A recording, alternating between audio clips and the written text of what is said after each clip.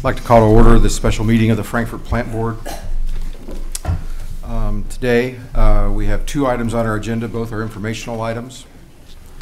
The first item is to discuss and present 3D re- renderings of the reservoir and the cost implications of different construction options. Is that you, David?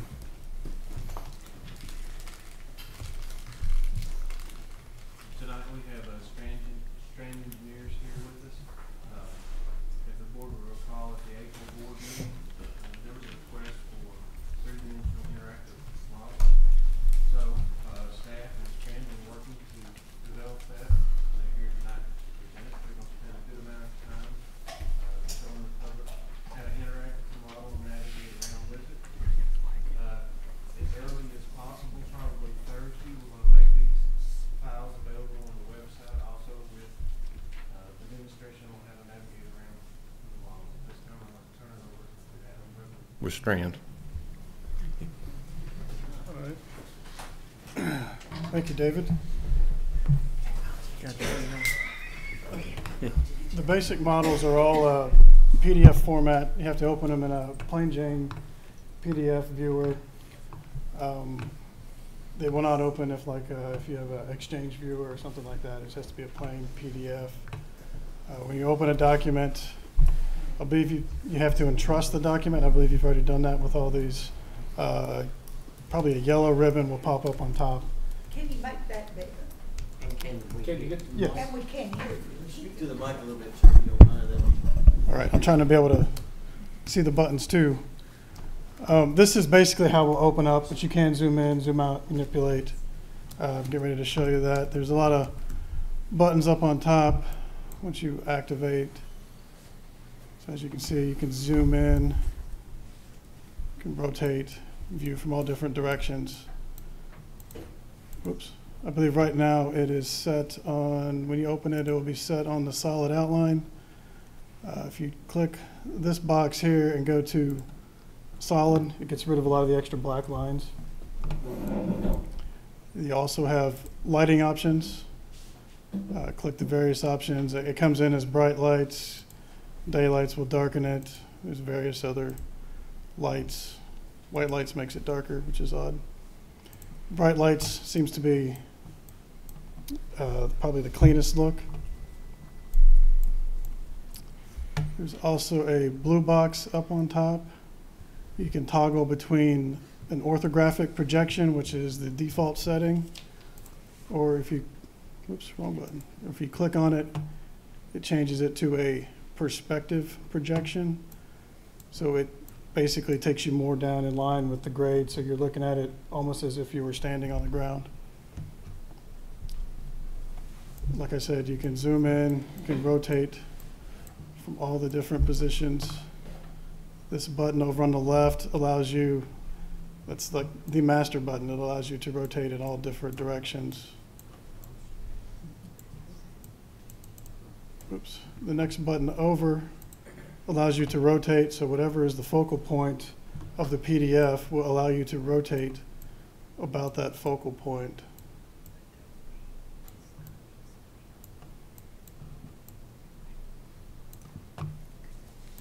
Works a lot easier if you actually have it straight first. And then the button with the X allows you to shift based on whatever view you were on. I guess one key thing I forgot to mention is you can click on this button here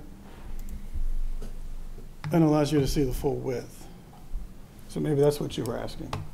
That looks better. At least understand what you're looking Yeah, so now you get a better, bigger view. And again, you can rotate.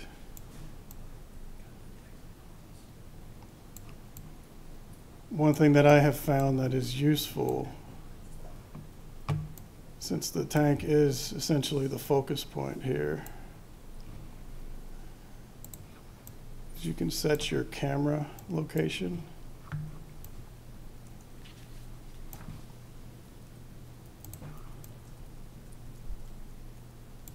And that is achieved by clicking this camera button.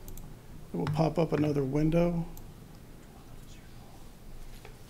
And the feature that I've been using is the align, under alignment, select three points. And then you will select three points along a, usually just, I just use a line. So I'll set my first point, say right here at this driveway. The center point, which is, I believe, your focal point. And then another point about equal distant from the other side. And that will allow you, once you rotate,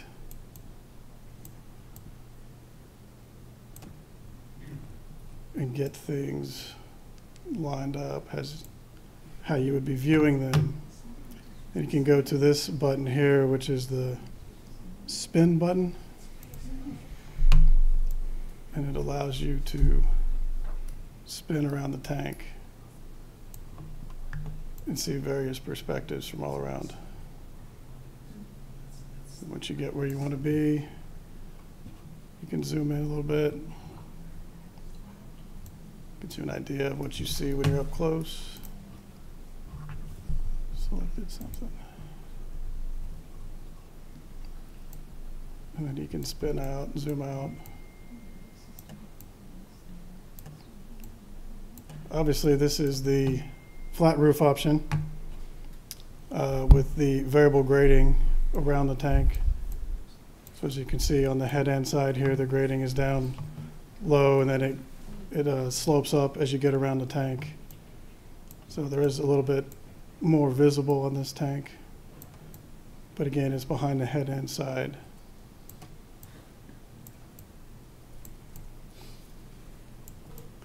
And we did add some conceptual landscaping trees to help screen it, screen the tank. Uh, as, you know, as you look, view it from the sides. Obviously, there's not as many trees. We did not show any of the landscaping associated with the head end building. And we still have the existing parking structure uh, shown in the model. And then I realized that this tower is not shown correctly. It does come to a point, but that point is the actual height of what the existing tower is. So, uh, same way with the, the head end building, that is the model that we received uh, from the uh, head end building consultant. So they are to scale. The tank is drawn in. Uh, the 7 million gallon tank, uh, approximately 185 foot diameter. Uh, the overall wall heights uh, for the flat roof, the wall height is 37 feet. And I'm trying to remember the exposed heights. I think it was 28 feet at the high side and approximately 12 feet exposed on the, um, the side that's graded up higher. Are the satellite dishes drawn to scale on there? I believe they're a little bit smaller. So I don't think those came in quite right. Just a hair smaller. Yeah, you make them look like toy satellites. There's limitations in the modeling software. There's- There was a standard um, cell that we could import. Well, maybe the plant board would put in satellite dishes that size. And the big tall trees, are all the trees gonna be that big when they're planted? Well, we don't have landscaping plan at all. And do you have an image that has both tanks in it? No, we only did the single tank options. Future tank is, For the record, I asked for images with both tanks, but uh, we do have the other tank options as well. Like I said, this was the flat roof um, without a retaining wall. Oops. Let's say. This one's already partly set up. This is the 16th rise. This is a standard dome tank. 10th rise, my bad. So this is So the are those 10th. houses drawn to scale? If the satellite dishes are not, what else is not to scale in there? Uh, Everything else should be to scale. All the house outlines were um, pulled off of uh, LiDAR data that the city had.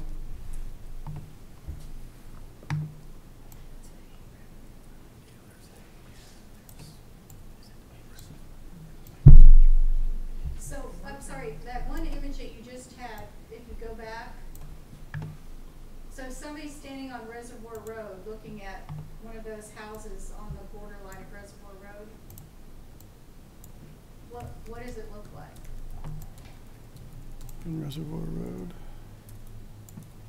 So somebody's walking their dog down Reservoir Road, and that's what they're gonna see.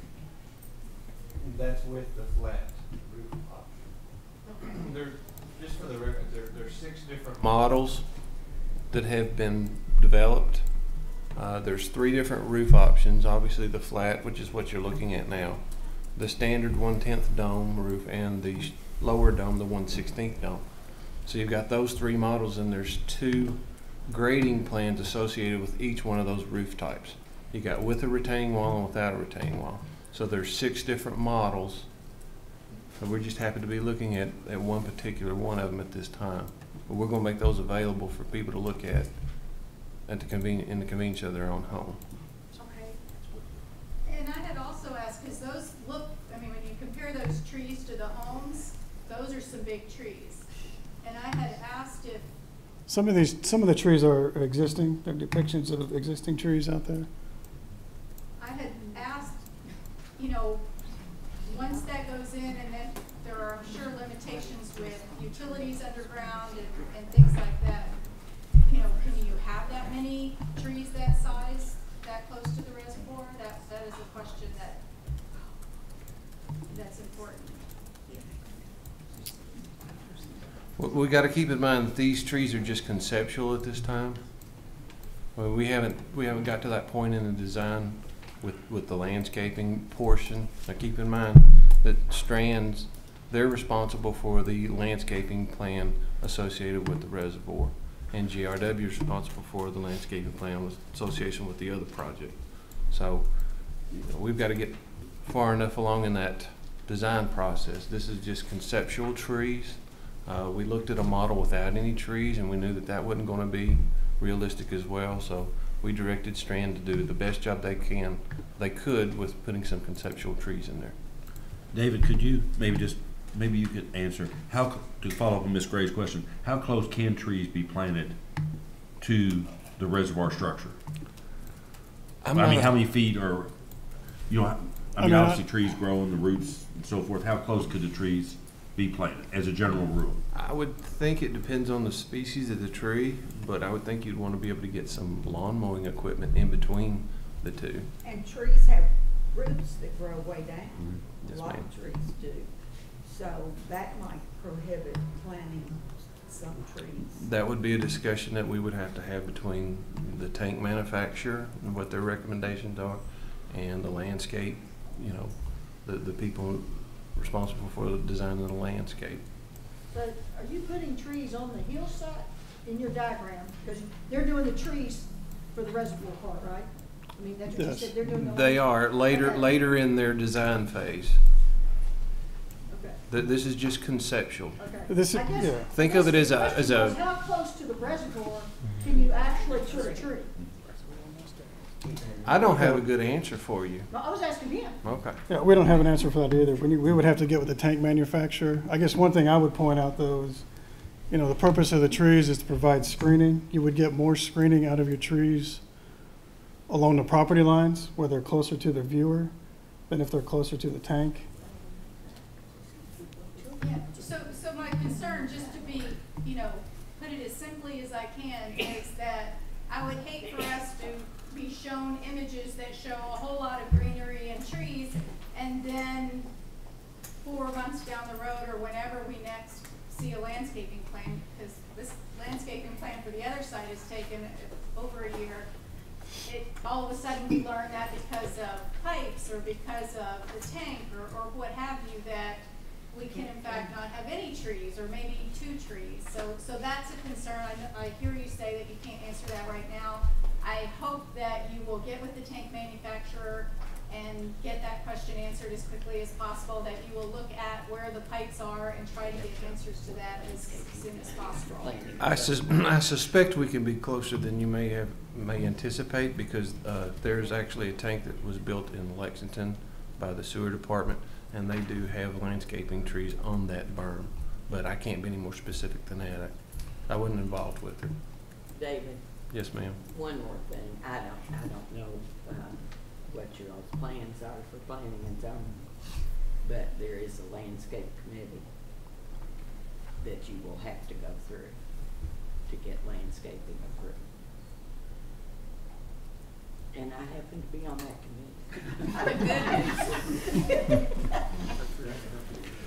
But just to be clear, I mean, you know, these were put on here as, you know, representative screening, and we don't feel like there's anything that would preclude just general appearance with the finished product.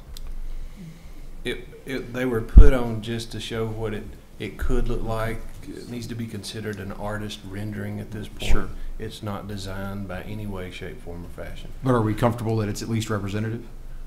No, absolutely not, because, I mean, we're dealing right now with the fence issue that we answered your questions about what fence we wanted almost a year ago, in June of last year. And at that time, and since then, we have been asked in November to change the top to save you all two hundred thousand dollars, which we agreed to. Now, we can't have a brick base on the fence, which is what we were promised. And, uh, so, you know, I, I understand utility lines being not buried very deeply because I have underground utilities. And I had to jackhammer my backyard up in order to meet code. And it seems to me that the plant board ought to be jumping on getting theirs up to code. Because you can't plant trees over that and expect those roots not to tear it up. So it, it, it just seems to me that, you know, that's a pretty picture. And, and that's nice. I'd rather see it without anything, because we do not have any faith that they are gonna plant one tree. I mean, they have shown absolutely no willingness to do anything that the city asked, or that we have asked, or that we have been working on for two years. Herbie, when we I have think the, we can turn the trees the off. utilities map from GRW that gives us some sense about the placement of the, of the, of the wall, would we be able to derive from that map the, where available planting spaces would be and what we'd be able to pl- place? What our constraints would be around that? I believe the answer is yes, but, um, you know, the site utility drawing is coming from the, uh, civil section of GRW, and they will have to get with the landscaping division, but yes, the landscaping division can look at the drawing and decide how close to the property line and how close to the lines and what can be planted. And from that, we should be able to derive some level of comfort as to what level of foliage we can put on the Yes. site. Yes. And we feel like we'll have that this week? We'll have the drawing this week. Uh, the landscaping division has not been engaged at this point, waiting on a final decision on the fencing.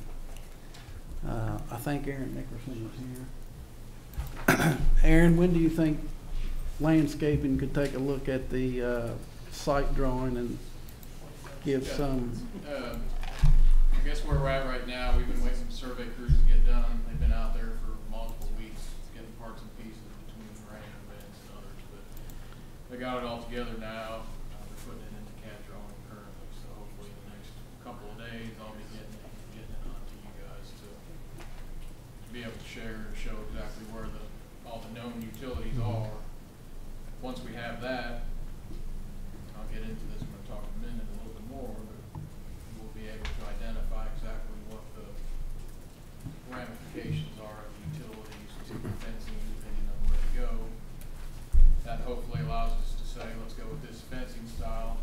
We know that fencing style, then we can develop a true landscape plan that works with that fence to help, you keep the, keep the view, keep the integrity of the neighborhood and, and get some landscaping in there to, to help that.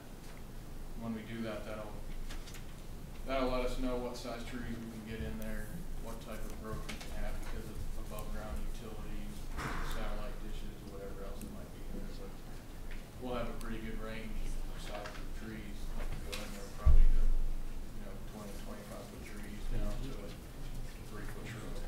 And when do we think we'll have some, you know, ballpark timeline when we could expect that kind I think of? once we can, data. we can get an idea on which fence we're going with, I would hope it it wouldn't take that much time to get the landscaping together.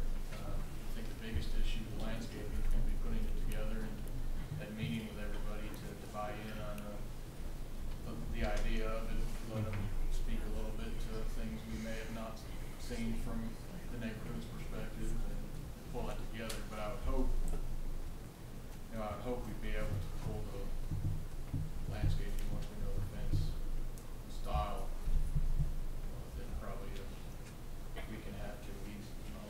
I see. Be Do we need, able- Be able to have a preliminary meeting so we can present that plan, Yeah. whoever's on the but, landscape. but committee. prior to that, could we get some sense of what our constraints are just based on where the utilities are placed in the short term? Yeah, I think we could give an idea, and I, I think the preliminary plan that we developed a while back, a year ago or whatever, we had a rough idea of what we could get in there to start with. I So see. You can kinda see on those renderings that we did a year or whatever so ago it was to the, to the city, the kind of scope and scale of stuff that, that we thought we could get in there between shrubs and trees. So given that preliminary design work that's already happened, do you feel like this is at least in the ballpark of being representative of what, what could happen?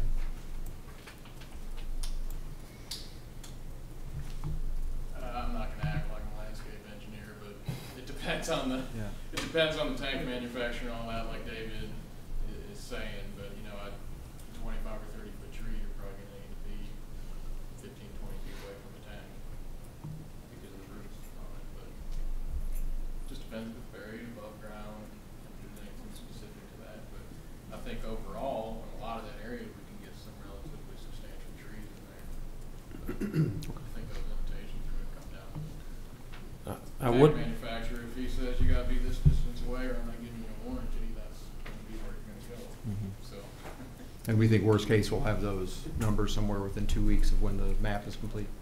I think for everything that we have, uh, that's in the part that we're looking at as far as sightlines for elevations and staying away from above ground utilities and all that, we should, we should be able to pull that together pretty quickly. As far as getting a final layout and not wanting to do work before work has been determined to be done, uh, we'd like to get the utilities and the fencing kind of straight away before we design all that. We can give you a rough idea of, of the type of plannings that we were envisioning before, and a lot of that, a lot of that you already had, really.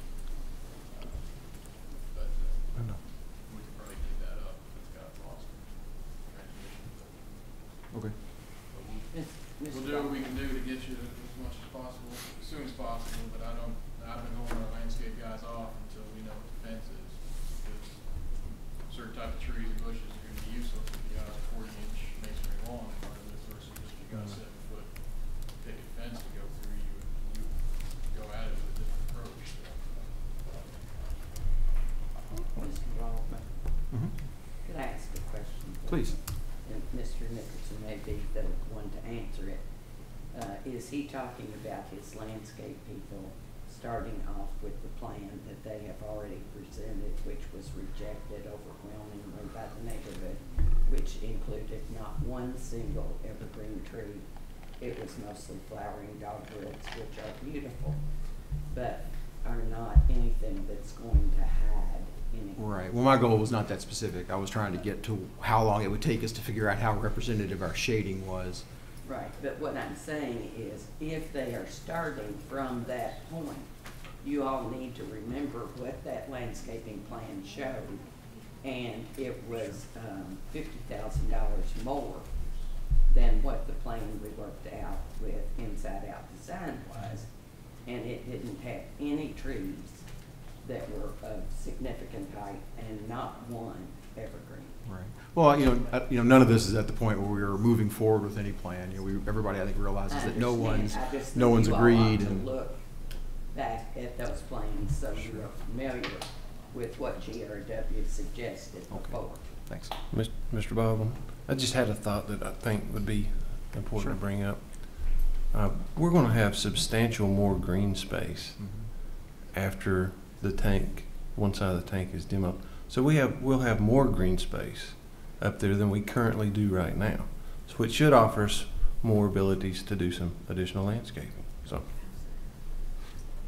What, I didn't But the part, but I think the part you're trying to hide, like Mariah, and they buried the lines, but they haven't taken them down, so I'm not real sure which ones we're using. There's not gonna be able to plant anything right behind me that would hide all the concrete. What- So I know what you're saying about the green space, but it really isn't gonna come into play to what you're trying to hide. Well, think about it this way. The berm, as it sits today, is, is the structure that holds back the water. After the concrete tank gets built, that berm is no longer structural. So what we might have been afraid of to put a tree on the berm in the beginning because it was holding back water, it's just purely aesthetic at that point. So with the new des- concrete design tank, we should ha- have more green space to offer up for landscaping.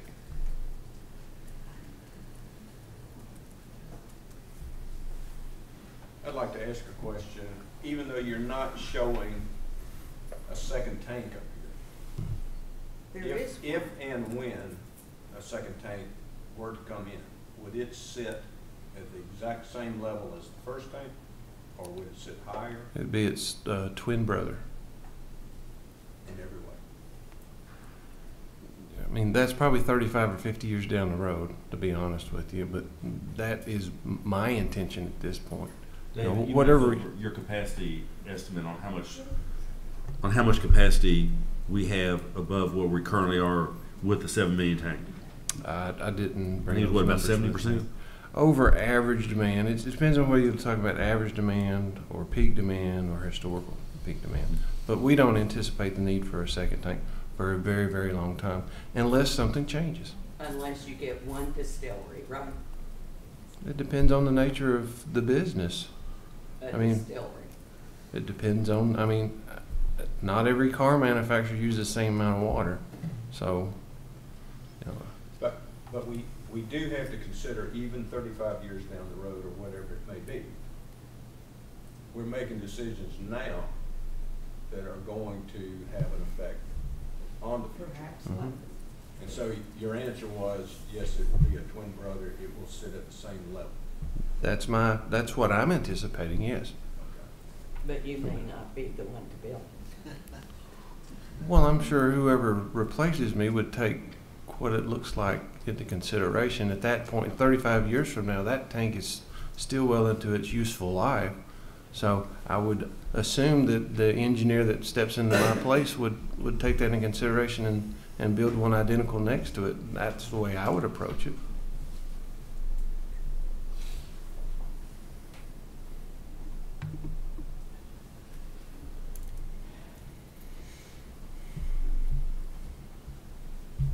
You mentioned, I think you had three different plans with two different options on each of the plans. Yeah, there's two site grading plans and three roof options. Can, can you go through those fairly briefly with showing the perspective of each one as we go through? The way you Sure. just kind of circle around at street level? Sure. Well, We've already looked at the, uh, this is the flat roof without the retaining wall option.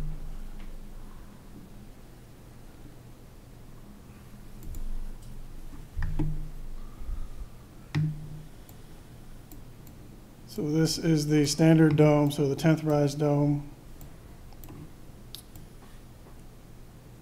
Option with, uh, without the retaining wall.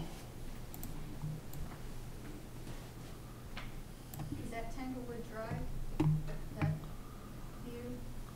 Uh, I think it's almost at the intersection, I think. There you go. Yeah, so this is the Reservoir Road side.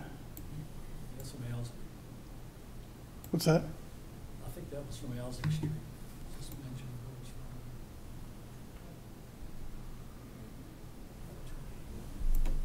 it was No, that's Reservoir Road there, I believe.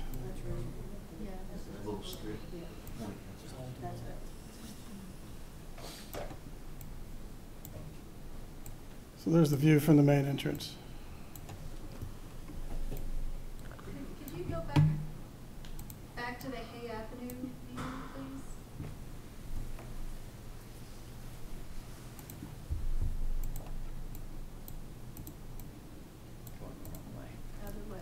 I'll go the, I'll go the long way. He's taking the seat, right? So, that's much more exposed than the tank that's there now. Is that because of having to move it over closer to the homes? 'Cause we don't see that much of the wall. Well, there's an, uh, there's another option for a retaining wall. Excuse me? There, each roof option has two different grading plans associated with it. One with a retaining wall and one without a retaining wall. And this is the retaining wall? This This is is one with- without. without. Oh, Yeah, let's see one with the retaining wall.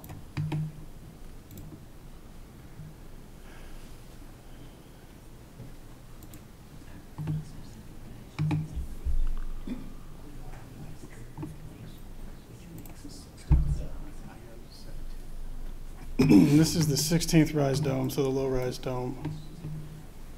Sir, how much of that is exposed now with the, with the retaining wall? Uh, Approximately 10 feet. Then you've got the wall.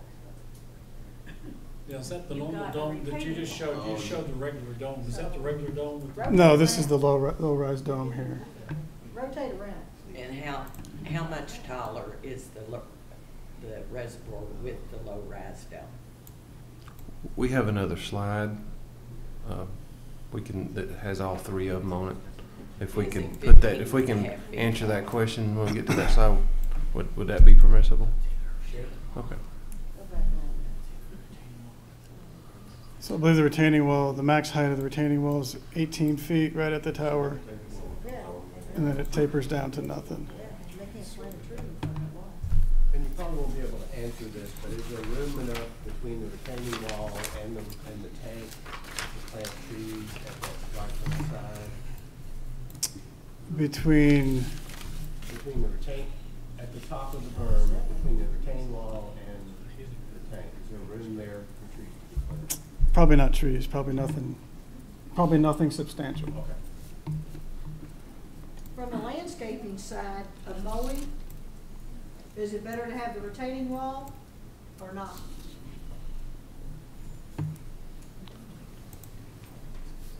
I, I'm just curious, I mean, they don't mow the tank now. They used to mow that tank, but they don't mow that now. So is it easier to maintain it and they'll mow it more if they have a retaining wall versus not having a retaining wall? Well, the side slopes aren't changing with the retaining wall. The side slopes are remaining the same. Uh, If we're going to mow it, we're going to need some specialized equipment to mow it, okay? Um, I don't think the retaining wall makes a difference one way or another on whether it's easier to mow or not, Okay. personally. Now, there's a- one thing that we wanted to mention here. If we put the retaining wall in, there's probably gonna have to be a handrail at the top of it, because it would be a fall, uh, hazard. And, you know, we couldn't get to that level of detail with, with this model, so. Can you show that ground level from Hay, please?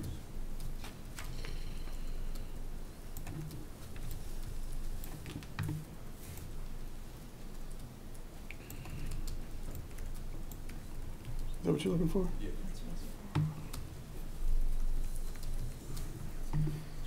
You're flying crooked. I can't tell. I got a different perspective than everybody else.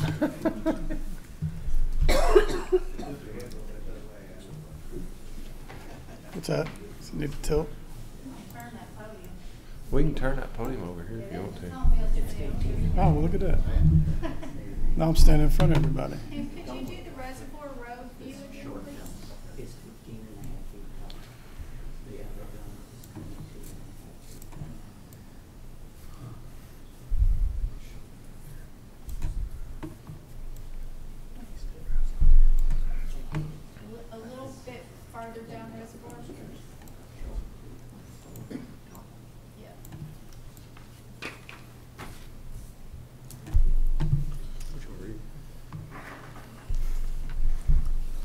get you what you need.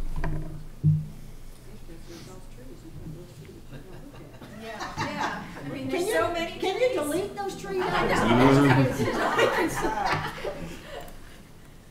That's an inaccurate look- rendering of what you have up there.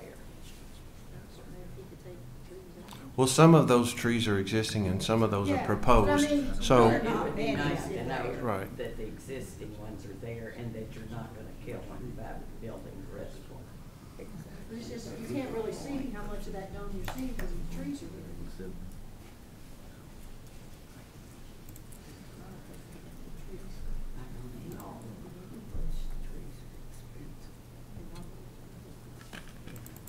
I don't know. I thought there was a way to turn the trees off, but I can't find it. Is it, Herb, is it possible to consider repainting the head end green to blend in with the landscaping as opposed to standing out from the landscape?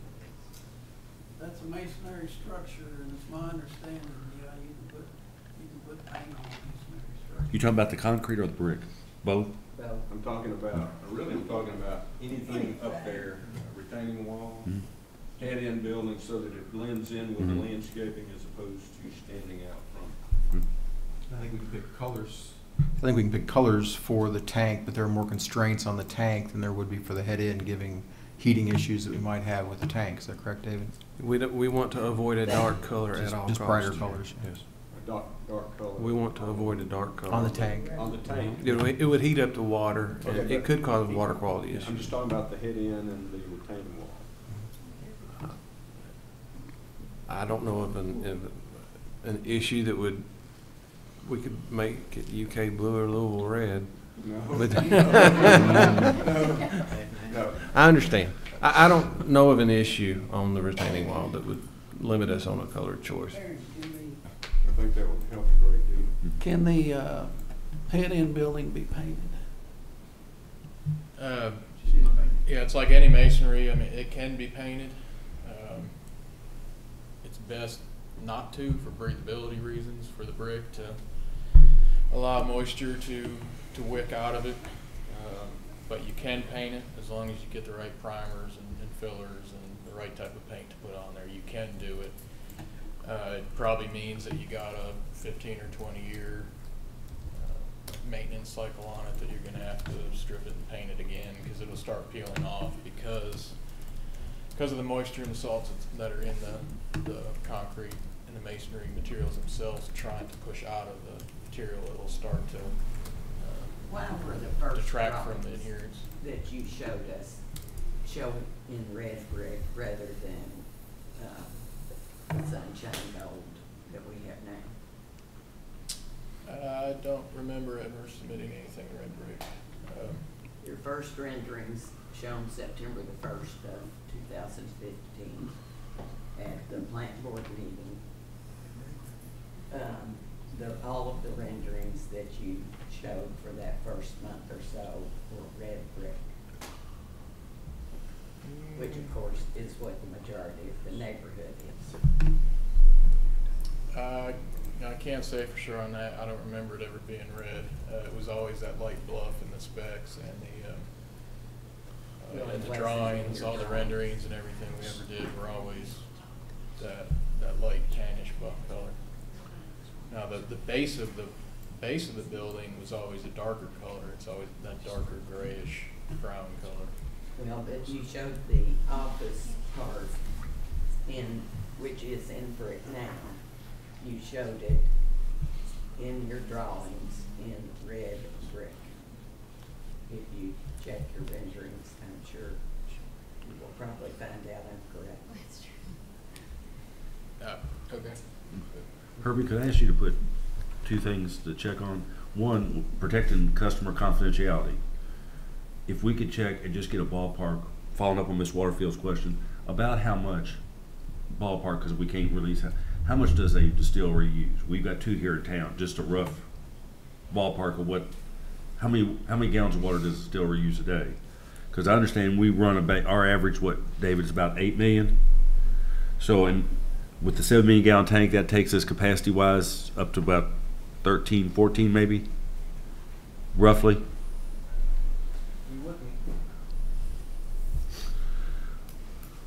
historically, your, your tank size is a function of weather and peak demands. Mm-hmm. And a large water user like that is Mhm. probably going to be running three shifts a day. Mhm. So they won't really be adding, they may be adding to the base, Mm-hmm. but they may not be adding that much significantly to the peak.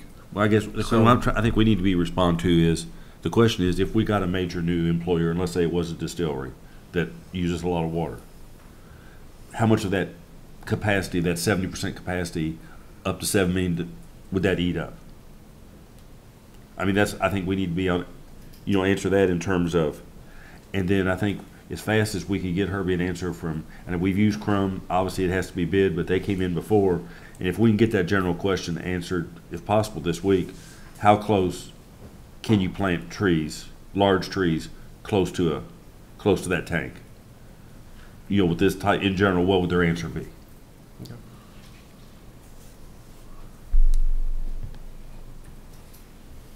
Can we see a picture of the dome without any grass? I mean, the, the whole tank without any grass around. You mean turn the grass, like the topography off? Well, the whole tank, I think we have, in one of the previous packets that was released in the last regular meeting, actually has a picture of, of an exposed tank, right? And we have a, behind the houses. we also have a plan and, and cross-section drawing that he was going to show that has Okay. all thr the existing cross-section and the proposed cross-section and the, the three different roof options. Well, then maybe it's a good segue point to move to that. Before we move off of these drawings, is there anything that the folks would like to see that, that might not be wanting to lean into the computer renderings after the fact? I have two questions. So we're looking at with this right here, ten foot, it looks like the exposed sidewall. I, I think is what was said. Yep. And what's the existing exposure? I know you, guys- I'm sure you guys have said it before. Yeah. You want to comment on that, David, with the It, freeboard? it's over my head, so it's prob, I'm guessing it's probably seven feet. I can go up there and measure it. Okay. Um, the second one is the last, the last picture that we were seeing there. Was that the half dome or the full dome? Uh, This one? No, the one without the tree, before that, right? Yeah, before took the this, the, When you took the trees out. This is, I've been on the same one where I took the trees out. oh, so this is the same picture. Is this? This is the, this half? is the half, this is the, This the is the half. low rise. And how tall is that from the base? How tall is, the- from the middle to the top? It was, uh, forty-six.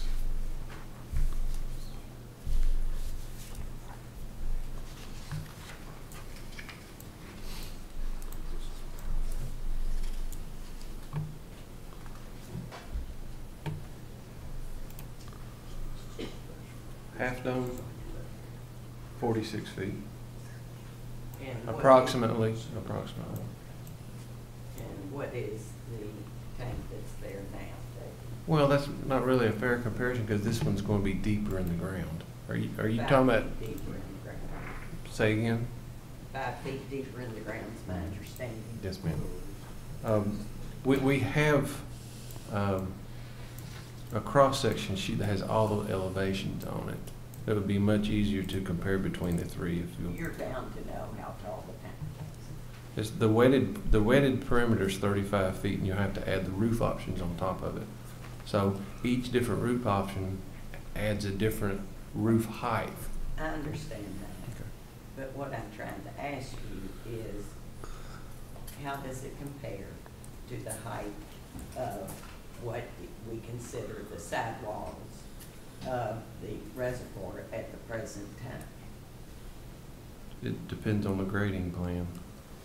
The retaining wall has, uh, No, The but, wall. uh, the one with- that we have, right this minute. How tall is it? The overall height of the existing is twenty-eight, that's from the bottom of, the inside of it to the the top of the roof is Okay. right in the twenty-eight range. Okay, and this one will be in the thirty-five, thirty-eight range? It'd be the thirty-five sidewall height, the water height, the water depth would be thirty-five. Okay. So it'll be And then thirty, the so it'll roof be, option will take it I whether it's that. flat or, or or the So- domes. So we're talking about, uh, two, at least two feet taller than what's presently there. Yes. With, as I understand it, it, even if we went for the flat roof, you, it would have to, the sidewalls would have to be built up another five feet in order to put all of the structure inside, is the- that With the, with the flat roof, you end up going two feet taller than the domed roof to get your freeboard. So if we had, like with the retaining wall option, if we had about ten feet exposed for the domed roof, it would be about twelve feet exposed for the flat. Okay, Is that, yeah, that answers my question. Can you still go to that drawing? where'd you have that saved at? Uh, I got mine with me. Where- is there a-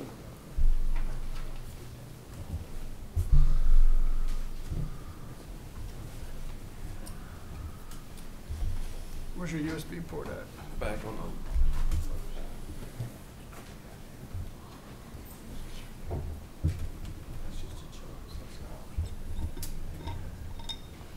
Might be upside Um, it's one of those goofy ones. It didn't turn on.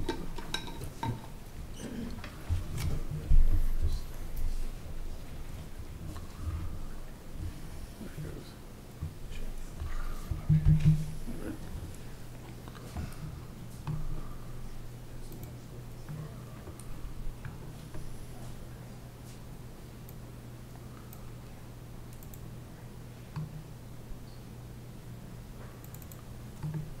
There we go.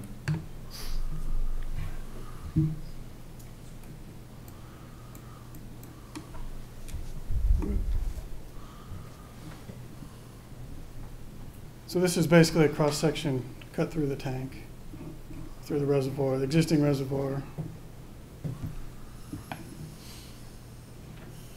So there's the overall plan, the existing reservoir. This is the north basin, south basin, uh, proposed tank location. There's the existing head end.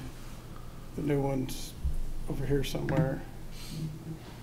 So that's what we're seeing down here is a, is a section cut along this red line.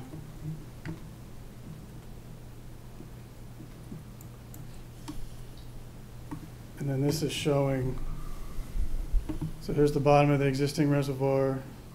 It's the bottom of the proposed tank. Top of the existing reservoir is this gray shaded line. It's approximately elevation eight thirteen point five. The red line outline depicts the low-rise dome. The green outline depicts the standard dome. And then this magenta line uh, is depicting the flat roof option. So with the two dome options, we got a roof edge of approximately eight sixteen. And then with the flat roof, approximately eight eighteen. And then obviously you can see the domes, they go up a little bit higher. So let's say like eight twenty-seven for the one sixteenth rise, the low rise dome. And then eight thirty-four and a half, give or take, for the standard dome. Ms. Waterfield, does that answer your question?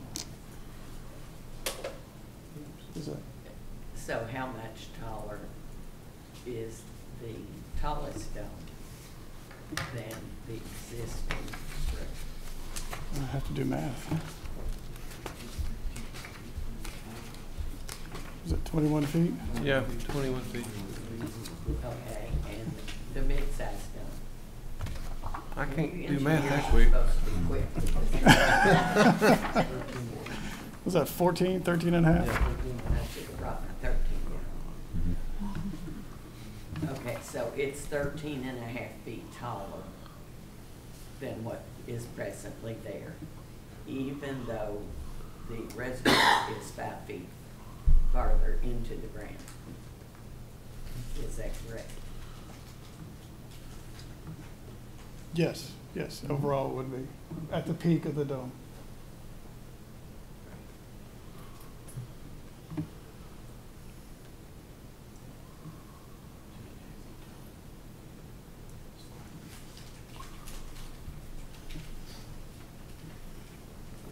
And you've got to move it fifteen feet closer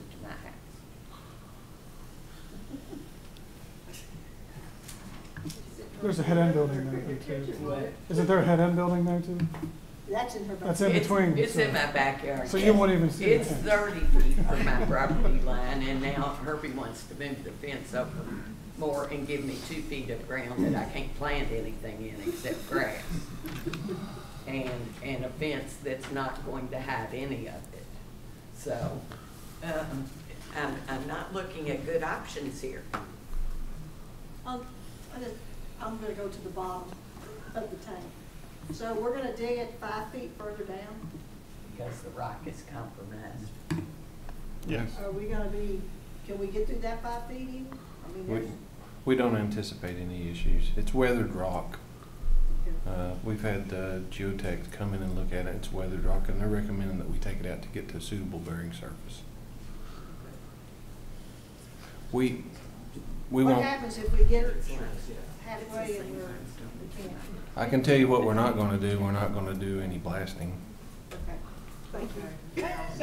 Poured concrete basements up there.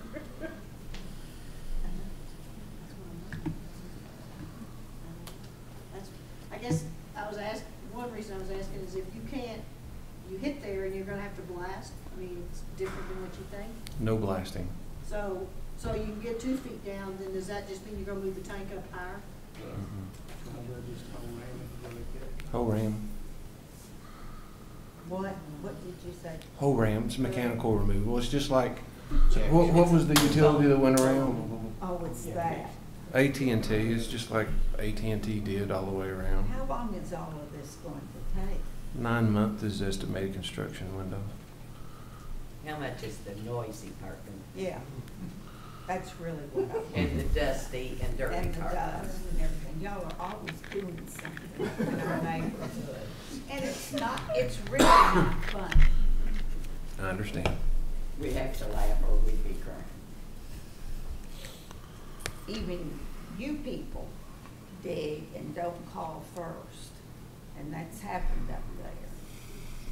Where lines have gotten cut, telephone lines. We're trying to do this project a little different. Okay. So mean, does We're anybody- trying. Does anybody have any more questions on the 3D renderings in particular? I just want to make sure we get all that covered, everybody's got a good view of wh- what we're talking about with the rendering. Could we go back to your question on the construction, David, of the nine months? Kind of what do you, se- what's the sequence? I mean, there's the, I mean, we're gonna get the liner, the liner has to be put in the one tank. Mhm. That's no heavy mechanical, right? No. Won't even, probably won't even know they're up there. Okay. that time. Then in terms of, the next phase is, what happens, what's, of the phases, the liner, then what's the next phase? It'd be demolition of the south basin. Okay, and then that, Well, dismantling. would, is that, I It's- mean, It's earthen and, you know, the, the roof structure, so. is that a lot of heavy equipment up there to do that? I would say, Alan, when you think of track hoe, and some dump trucks, About how long would that take? you have a good idea on that? I'm, a couple of weeks maybe. Yeah, maybe. And then the next part is actually construction, and we had Crom in it when we met over at Franklin County Career Tech. The actual construction of the, of a tank itself, from when they come in, start forming the concrete, putting the floor in, start finishing, that takes, To be honest with you, I, I haven't thought of it like that. I, I looked at it as entire project window. but in terms of sequence, and I think, does that answer, is that something you want answered is It'd nice to know. timeframes for each kind of, if you kind of segment it in terms of liner, demolition, reconstruction, kind of what you see how that nine months breaks out. Because I think your question is, from heavy equipment, when it's up there, kind of what's that time sequence? Is that what you're, Exactly. okay, is that, We, we can get that okay. information. I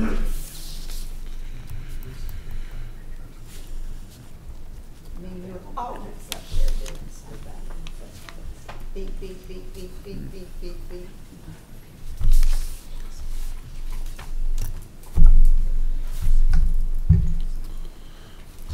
You know, again, these renderings are gonna be made available on our website. Anybody has any questions about it, give us a call. When, once this tank is completed, then do you take down the other one? Is that part of the construction process, Yes, ma'am. part of the nine month? Probably so. You know, there's a lot of things up in the air right now. The, when we say nine months, uh, could be longer if we're talking about the sixteenth dome roof. It's more complicated. It will be actually longer if we go, you know, if the flat roof, roof is chosen. Uh, Remember, there was a one point seven five million additional cost for the flat roof. A lot of that is labor, so I'm anticipating the, the flat roof, if that's what is chosen, would, would take a lot longer. So the nine months that we're mentioning here, for clarification, would be for the normal dome roof. Without a retaining wall. Without a retaining wall, thank you. Because the retaining wall would have to be built after the tanks were, the tank is constructed. When you say normal, do you mean the full dome or the semi-dome? Full dome. Full dome. And these are just estimates, so. I believe Mr. Roach has a question. Oh, I'm sorry, I When it didn't comes see. late, I'm sorry, so I may have missed what y'all already said. What's the, how much, what's the difference in cost between the full dome and the half dome? Uh, there's no additional cost for the full dome. Got you, The half dome is a half a million dollars more, okay, and the flat roof is one point seven five million more. thank you. So getting back to the question is, will the second tank look like the first tank, assuming that it does? You know, we, long-term cost, the, we gotta double these things for the overall cost. Because whatever you do for one, I'm assuming we'll do for the other. Well, but if you wait thirty-five years, it'll cost way more. Thinking about rates thirty-five years down the road. I won't be here for that. And I'm planning on sticking around. I'm done. And then the, the retaining wall option also adds, I think we came up with, was it Three hundred and twenty three hundred and twenty, three hundred and fifty? And I think that you have to take all this before the planning and zoning. That's being discussed, but to be honest with you, you know, we can't show up at planning and zoning with conceptual stuff. We have to show up with design. So, you know, we, we've got to make a, a decision and we have to finish the design and get the plans to, uh, to a degree that we can go to planning and zoning if that's what's decided to do. So, you know, the, the purpose of the meeting was to look at the roof options and the grading, so that's what we tried to do tonight. But we were talking about time, timeline, Mhm. timeframe. And I'm thinking that's another step that And that's another step that, that we have absolutely no experience with going through, so I don't know if that is a thirty-day process or a three-month process. I have no idea. I'll be glad to give you any advice you need. Um, you're still trying to decide whether or not you will go before planning and zoning? So do you know when that decision will be made? I think, you want, I think, I mean, tonight, the goal is to get the information and to find out from, you know, from Ms. Gray or as association, time frame in terms of your review, comments to come back to us. Then obviously, we're gonna hear those. We're getting this information tonight, you know, I think we want to reiterate, this is the first time we've seen it. We've not had this tucked away. So we're seeing it, obviously, we've got questions tonight. Then it's got to come back to the board, and then I think the rest of those issues kind of roll out from when it's brought back, and then a vote has to be taken here to trigger the next phase in terms of where we're going. So, you know, I think our goal was, we'd kind of talked about two dates roughly. I think what, the sixth, and then mm-hmm. maybe the twentieth. And I think, Ms. Gray, you'd said you all got people out of town and so forth, and I don't think it's fair to ask the clock to start ticking on you all till you have everything in hand. So are you saying at the time you vote on the plan, you will make the decision about whether you go before planning and zoning? I mean, I think that's, I don't see that we can really have that discussion before we're ready to have a plan. I mean, I don't think we can have that discussion on planning and zoning until, as, as Mr. Billings said, till we have something to talk about. I mean, because right now, Right, but it'll be announced that night. Yes. Whenever the vote is taken. Yes, sir. Let, me ask you a question on that. Did the city not, um, send you all the notice of what they expected from you, which, one of which was to take this project through planning and zoning? That's correct. It was, as I remember, it was in that correspondence, wasn't it? Yes. I, I'm not sure you have two city commissioners here. You probably could ask them. I'm, I'm not sure how you're gonna get around that unless you sue the city. The purpose of tonight, Ms. Water, in all fairness, the purpose of tonight is not to talk about litigation or work. The Purpose of tonight is to get you the information, to get your comments back, and I think the rest of it, yeah. But part of the information that we need is if you are going to planning and zoning. I don't, I, I can, I can repeat that again, but all I can tell you is, what we want to hear from you in the next several weeks is based on this information, what is, what is your all's feelings? And then we have to take that from there, and I don't think it's, a- I don't think it's really appropriate or necessary to go any further than that tonight. I, I think the city That should look sounds somewhat forward to suspicious. some I don't know what the secret is. There's not a secret, we're trying to get from this point to the point of even having something for the board to, to vote on. So I mean, yes. It's not meant to be suspe, it's just meant to be, we're trying to get through this a piece at a time. And that's where we're at tonight. Well, the most difficult thing for our group is the fact that we sent you all in January exactly what the neighborhood association would agree to and would not fight you on the reservoir. Mhm. If you would put into, and, and as I found out since I'm now in possession of nineteen sixty-six drawings of where our water lines in, uh, are, it looks like you built the head end over one. Um, but anyway, it, it, uh, appears that you have more capacity up there than you know. But, um, anyway, I'm not sure, uh, uh, could you just elaborate, what do you mean more capacity? I mean that on those drawings, it gives the tank capacity, which is in excess of nine million gallons of the two Yeah. tanks. That's true. It shows where all the water lines are that they knew about in nineteen sixty-six anyway. Um, you all, I don't know if you all have those drawings or not, but you can get them from the planning. Yeah, it's, And they're it- very informative. it's my understanding that's, that tank is only a four and a half million gallon tank. Is that right? Combine both tanks together. Both tanks together, but the tank we're putting in is a four and a half million gallon tank, correct? What, all right, There's nine point two or nine point four for the existing storage up there now between the two tanks. Depends on That's correct. What numbers you look at, either nine point two or nine point four, I can find okay. records on bo- on both numbers. What we have proposed is building a single seven up there now. And at some point in the future, when the additional storage is needed for either off-peak demand pumping or tidal use electric, whatever comes down the road, there's a space available for a second seven million gallon tank. What my question is, how much will this tank hold? The new tank seven. Thank you. But anyway, there's given, no, you all didn't bother to even check to see what it would cost to put in the two tanks right now, which would keep the neighborhood from being a constant construction zone. And I know that you don't foresee, nobody at this point in time foresees Frankfort growing. And, uh, you know, we're figured that in the next twenty-five years, about, uh, two percent growth rate or less. And, but I do know that last year a distillery looked at coming to Frankfort. And that would make a huge difference.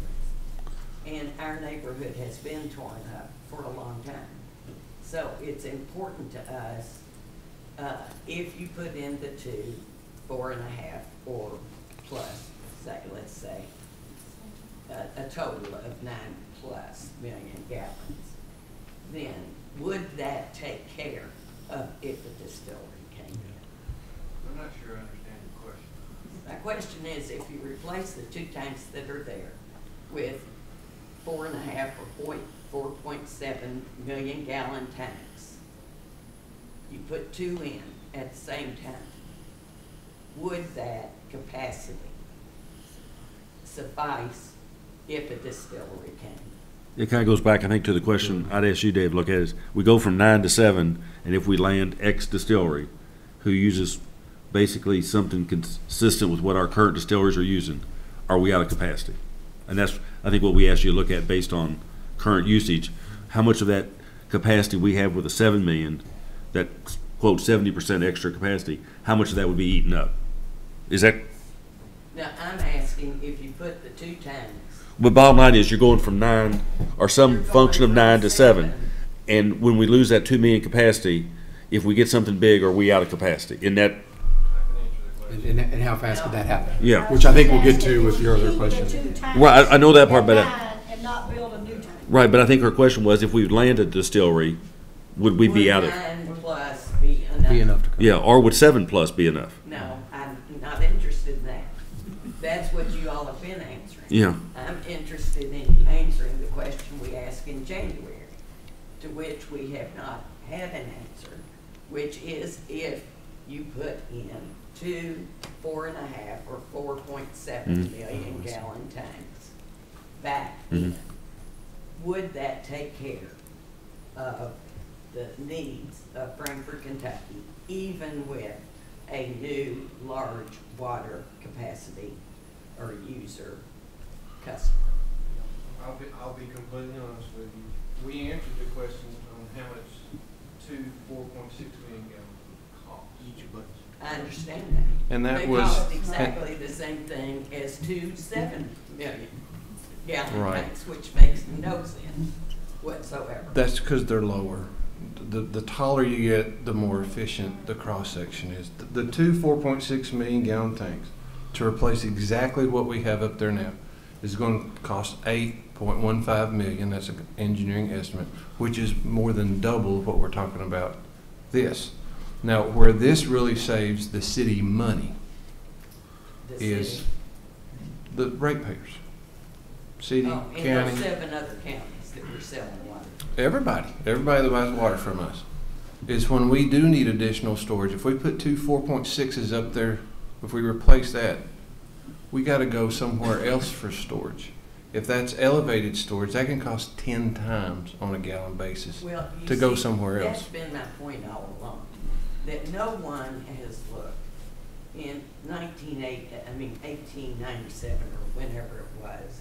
The reservoir was where the Capitol Annex is, a large open pool. Um, it, it, when it was moved up to Tanglewood, there was nothing between the hill that the reservoir is now on and downtown. It took you a third of a day to get up to Tanglewood. And, uh, a third of a day, there were two farms.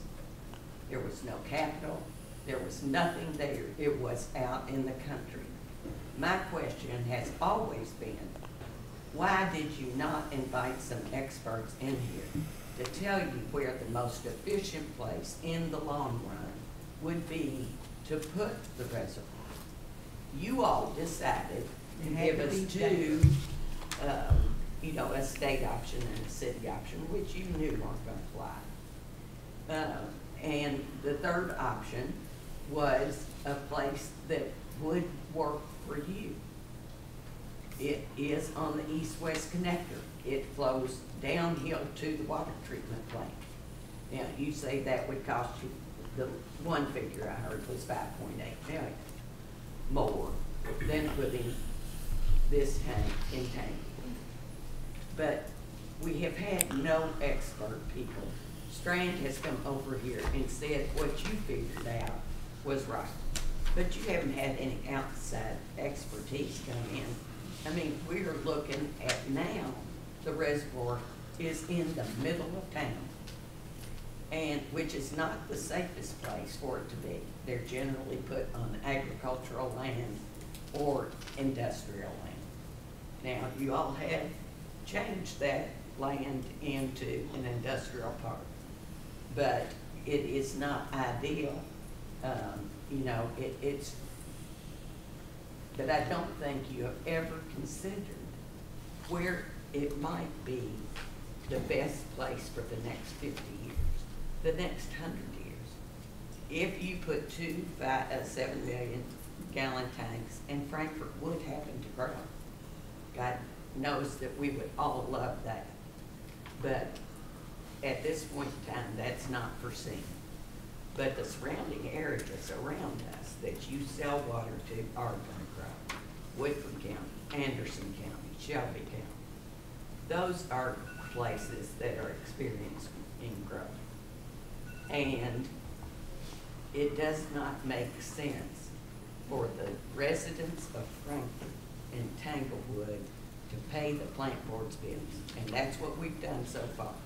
You've saved four and a half million dollars by making that stupid vote to put the head end, up in Tanglewood, exactly what the consultant told you not to do. And it has cost the residents of Tanglewood four and a half million dollars in property, loss of property values. Putting the reservoir there is going to do nothing but make that more expensive to us. And we didn't sign up to pay your bills. You know, I mean, it's not fair to ask one neighborhood to pay the bills for an eighty-six million dollar a year business. And I, I don't know why you all don't get that. You can't even look at the map and see all the houses up there that are around this reservoir you wanna build. It's like you've got blinders on. Trying to put a nine-size foot into a four-size shoe.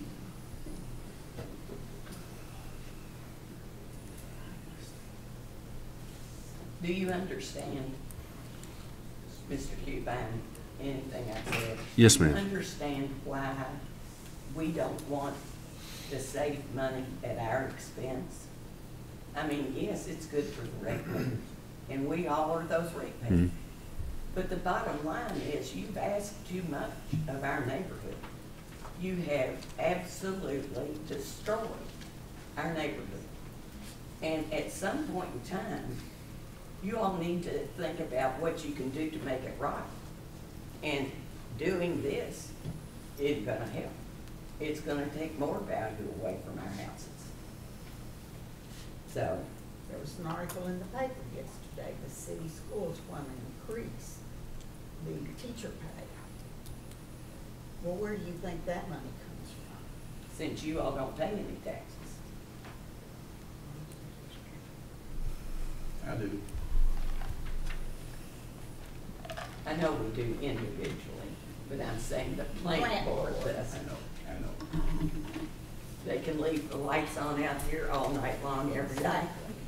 It looks lovely at night, and you can tell they don't have to pay the electric bill. So, you know, my husband makes me turn out our lights. Unfortunately, I would like to leave mine on too.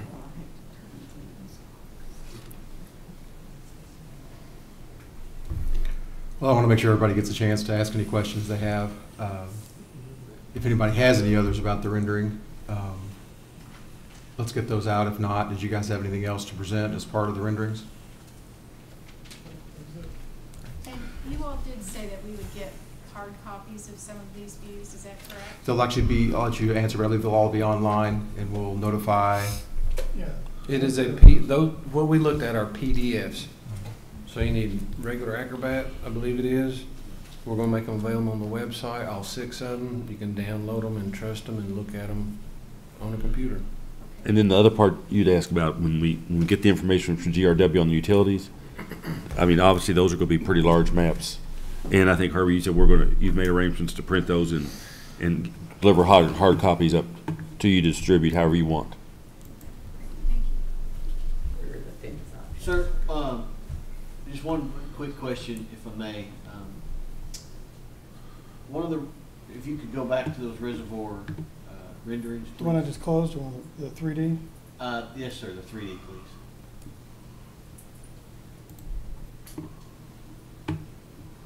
The, okay, right where your mouse is right now, that wall, um, it's showing there that that is terraced. Is it currently terraced, or is it, mm -hmm. it is? Okay. It is. Currently is. Okay.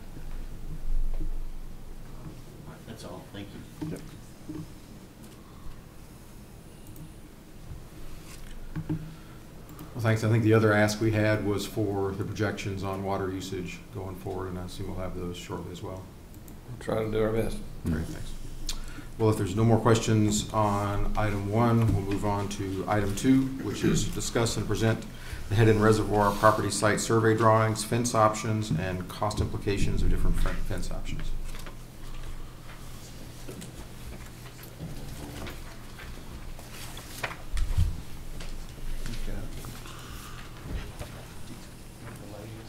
It's right here.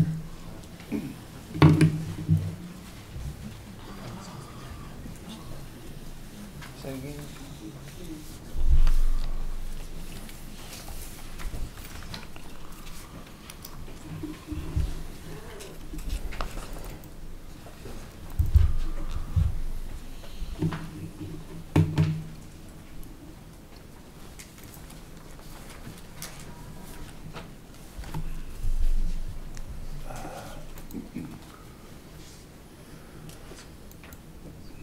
Is that how you want it? Nope. Okay.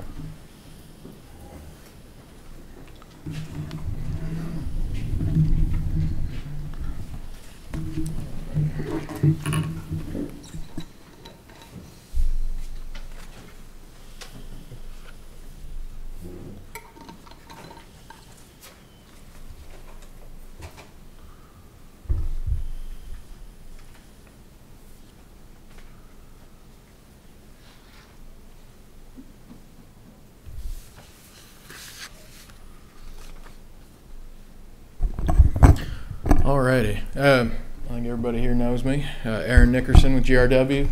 Glad to see everybody again. Uh,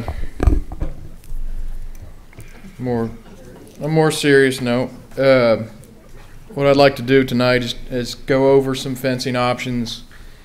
Uh, we went over some a long time ago, but wh- what we'd like to go over today is basically the revised options going from the the seven foot montage with the brick base that you guys uh, had originally uh, uh, advised that you would like to see, and then show some additional options that we've put together to either show different aesthetic configurations uh, with another fencing product, and then also show fence on grade versus fences with individual piers or columns every eight, 16 feet, 24 foot, depending on what was, what's necessary for the landscape.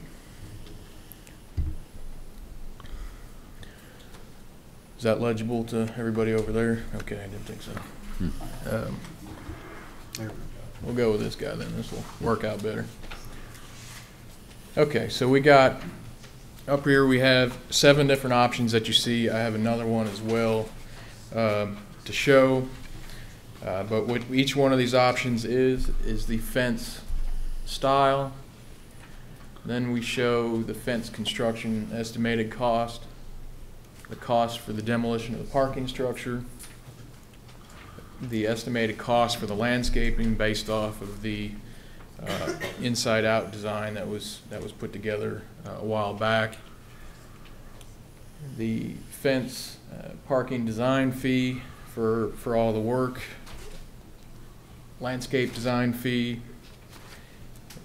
estimated relocation of utilities for the first one, and that was just a, a ballpark number based on the initial discussions. That's going to be revised based on the final uh, found conditions. Uh, and then the total cost. And the order that you see up here is based on height of fence. So all the seven foot fences are shown here first and then into the ten foot fences. Sorry, Aaron. Yeah. I just have to interrupt just one minute, if I could, because I wanted to set up, I, I don't even think everybody in the neighborhood um, knows exactly why we are going through this right now.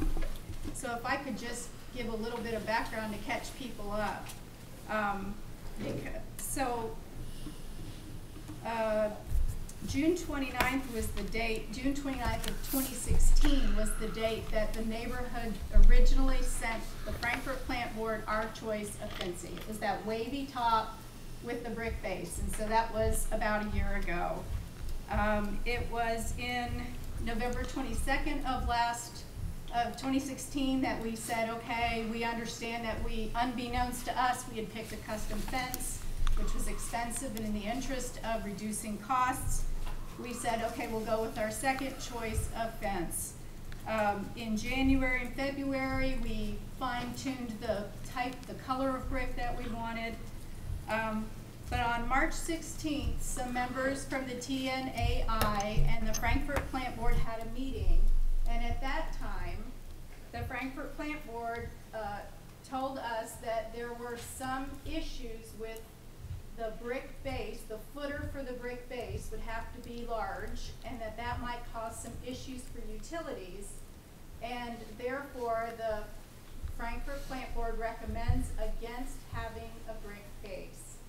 At that March sixteenth meeting, there was a map on the table that um, Adam and some people were pointing to, kind of showing us some issues of concern. Uh, one issue was the, the gas regulator, which we discussed at that time, a way to work around that. But there seems to remain some issues with other utilities that would interfere with the brick base. Um, on March sixteenth, we asked the plant board at that time for a map of the utilities because we said, can you show us on the map where these problems are? Is this like, you know, pretty much across the property? Is this just in certain areas that it would cause problems? And, uh, we are still waiting for that map. So what the plant board would like to show us is they have made these, some selections of, uh, fencing options that do not involve a brick base, um, that they would like to show us. And I have told them that until we see the map that shows us exactly what the issues are and where they are, that we can't properly assess whether we need to change our, um, opinions about the brick base or not. So for the neighborhood, this is just something that they're showing us. We're happy to look at it, but we can't make a decision until we have all of the information, and that includes a map that shows the, where the issue areas are for the utilities. So I just wanna make sure that everybody, that we're all on the same page, and that that's, um, where, why we're having this presentation right now. Sorry to interrupt. No problem, Suzanne, I think that was a, a, a good briefing. Uh, what this spreadsheet shows is the, the first fence option on top is what the, the neighborhood chose, uh, near the end of January. And once that fence was selected, GRW began, uh, the design of that fence. And they got the draft set of plans and specifications ready to go out for bid for that fence that you all chose. And when the, um, the design of the footing came out in these drawings, it was four and a half feet wide at the bottom. And we knew we had just put those utilities in the ground and we knew they were right up against the property line and we knew we had a problem. So around March sixteenth, we met with a couple of you folks from TNA and we said, hey, we think we've got a problem. You know, we didn't realize until the drawings came out that the footing was gonna be four and a half feet wide at the bottom. We met with y'all and said, hey, we've, we've got an issue here. Uh, we did have some drawings at that meeting. Uh, they didn't have any utilities on them. Uh, it was just drawings showing the outline of the property line. But what we did have at that meeting was photographs showing the existing utilities and we knew we had a problem. We've got photographs with paint on the ground showing the distance from the fence of the existing utilities, and we knew we had a problem. So after we met, we met with you on March 16th, you know, we had some board members that said, hey, you know, we know the foundation wall is going to cause us problem. Let's start looking at other options. What about perhaps, you know, building a fence on grade but have columns spaced? And that's what uh, the remainder of these fence options are, is constructing a fence on grade without the uh, foundation wall, but having uh, masonry columns. So that's why we're coming back to you now with these other cost estimates, is because we knew in March we had conflicts with the existing utilities that are in the ground. And since the March meeting, you had asked, you know, for proof that, you know, our utilities are, are in conflict. And that's what Aaron was talking about earlier tonight. The surveying crews just finished up last week getting all the, the data, and they're trying to put it into a plan sheet as we speak. It's my understanding we- we'll have that plan sheet tomorrow or the next day. That's what we've been working on. You asked for proof that the utilities are in the way, and we've gotten GRW up there with their survey crew to, you know, accurately locate the utilities on a drawing. And I might add, one other thing I think that happened after we had that meeting, we went through kind of two interim steps, is I think we carefully tried to consider, could we move the fence on brick base, and basically we'd have to go into current residence property, which we didn't think, and we informally understood that that wasn't extremely popular. Then we also looked at, could we in fact give the residents an extra two or four feet? Could we actually pull the feet back, but we'd have to maintain an easement because the utilities would now be in the residence property and nothing could be planned on them because that cable and everything that's there that we don't want to cut would now be on your side to maintain the property. And for a lot of reasons, that didn't seem to be feasible, especially since we didn't know how far we can pull back in terms of actually giving that amount of property. So there was an interim step in there where we tried to evaluate kind of moving that fence line to either, to miss those utilities. And that seemed to have a lot of issues that kind of stem from that. And like you said, Herbie, that kind of brought us to this point right here. I guess my question is, did you all ever think about just making a smaller foundation? Not the four foot wide, because. Oh, believe me, We've got one Yeah, believe me, we, yeah. And I don't know how that, I want you to explain to me how you're gonna take the foundation out and fit to me where I'm like two feet higher than mm-hmm. what you got over there. Mm-hmm. And you're gonna put a fence and then I have flowers and you have weeds. That ain't gonna mix. So I'm just, I don't, I don't Yeah. understand how you're gonna do that anyway. Well, if I could just suggest, keep my little foundation back let's let, let's let Aaron get through his presentation and then we'll, Okay. yeah, if we get I just all the data out. wondered yeah. thought about it, just a smaller foundation than going to no foundation at all. Was that discussed? Yeah, we, we, we discussed that. Okay, okay, he's gonna tell me. Let me Yeah. give a good, let me give a fifteen second architectural perspective on all that. I'll get the easy part. Uh, The fencing at that meeting that we had, uh, to present the, the construction documents, one of the other things that we brought forward that we wanted everybody to be absolutely clear on was, right now, you got a grade that does this. You know, it's not level, it's not at one angle. If you put a fence on that, you're gonna have to step that fence unless you wanna go with a sloped single fencing on grade, and then you can follow the, follow the grade. So we presented images of that as well, just to make sure everybody was clear on what would, what would be going in there if we did the masonry wall with eight-foot fencing, seven-foot fencing, whatever that was. Second thing about the footings, the footings are sized based on the wind load on the wall and the wind load that the fence acts onto that wall. So the size that we have is as small as you're gonna get without replacing the fence in fifteen years. There's Or no replacing the wall. there where I am now. You've taken care of all we, Well, and after the reservoir will be complete. so that's, that's the short answer to that. It's, it's designed based off the loads that would be acted on it. And if some people wanted privacy slats in there, that's gonna make the load even heavier on that wall.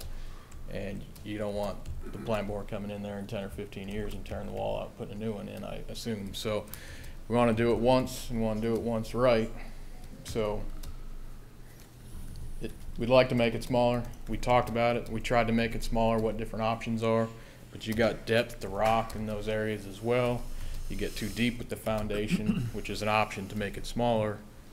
You're getting into rock, and then there's gonna be a hoe ram there digging out a four-foot hole every sixteen feet in front of everybody's property, so that's. So like the foundation that we currently have there, there's no kind of fencing option to go onto that type, that size of a foundation? No, that's, that's just a, a maintenance curb, basically, is what that is. It's, it's sixteen or twenty-four inches deep by six inches wide or eight inches wide, but it's just there basically to, at the time that it was put in, which I got no idea, but I assume it was probably forty or fifty years ago. It was there to separate the property, basically, maintenance reasons. Is the underground utility issue primarily right there where the head end is on Hay Avenue, or does it go all the way around? It goes all the way around, and it depends on where you are. It's significantly worse. There's probably areas that are worse than the head end. Um, value, is that a reasonable assumption? So there may be a 50-foot stretch where it's not an issue, and then there may be a 25-foot stretch where it's a complete issue. But there are points all the way around. Yeah. Yep. Okay. Well, as Walt said, I'll I'll be glad to answer any questions. Um, let me get through kind of the list here to show you guys the different things we've come up with as far as options, and then we can get into a little bit more uh, discussion if there is on specifics. Uh, so we got seven options up here. The first option that's shown, as Herbie said, is the cost associated with the seven-foot montage wall with the 40-inch brick base. That was the initial selection that was requested. With all those fees in total, that, that cost was $936,000 estimated. The, the second uh, option that you're seeing up there is a seven-foot montage two on, on grade with masonry piers. What that is, is uh, fencing, which is what you see over there. There's the montage and the aegis. I don't think anyone called that out, but as you came in, there was the fencing options over there of the two that we were looking at. Um, but what that would be is a seven, uh, seven foot fence, and then every 16 feet there'd be a masonry pier. And I got images to show, but I just want to go through the numbers real quick and let you see.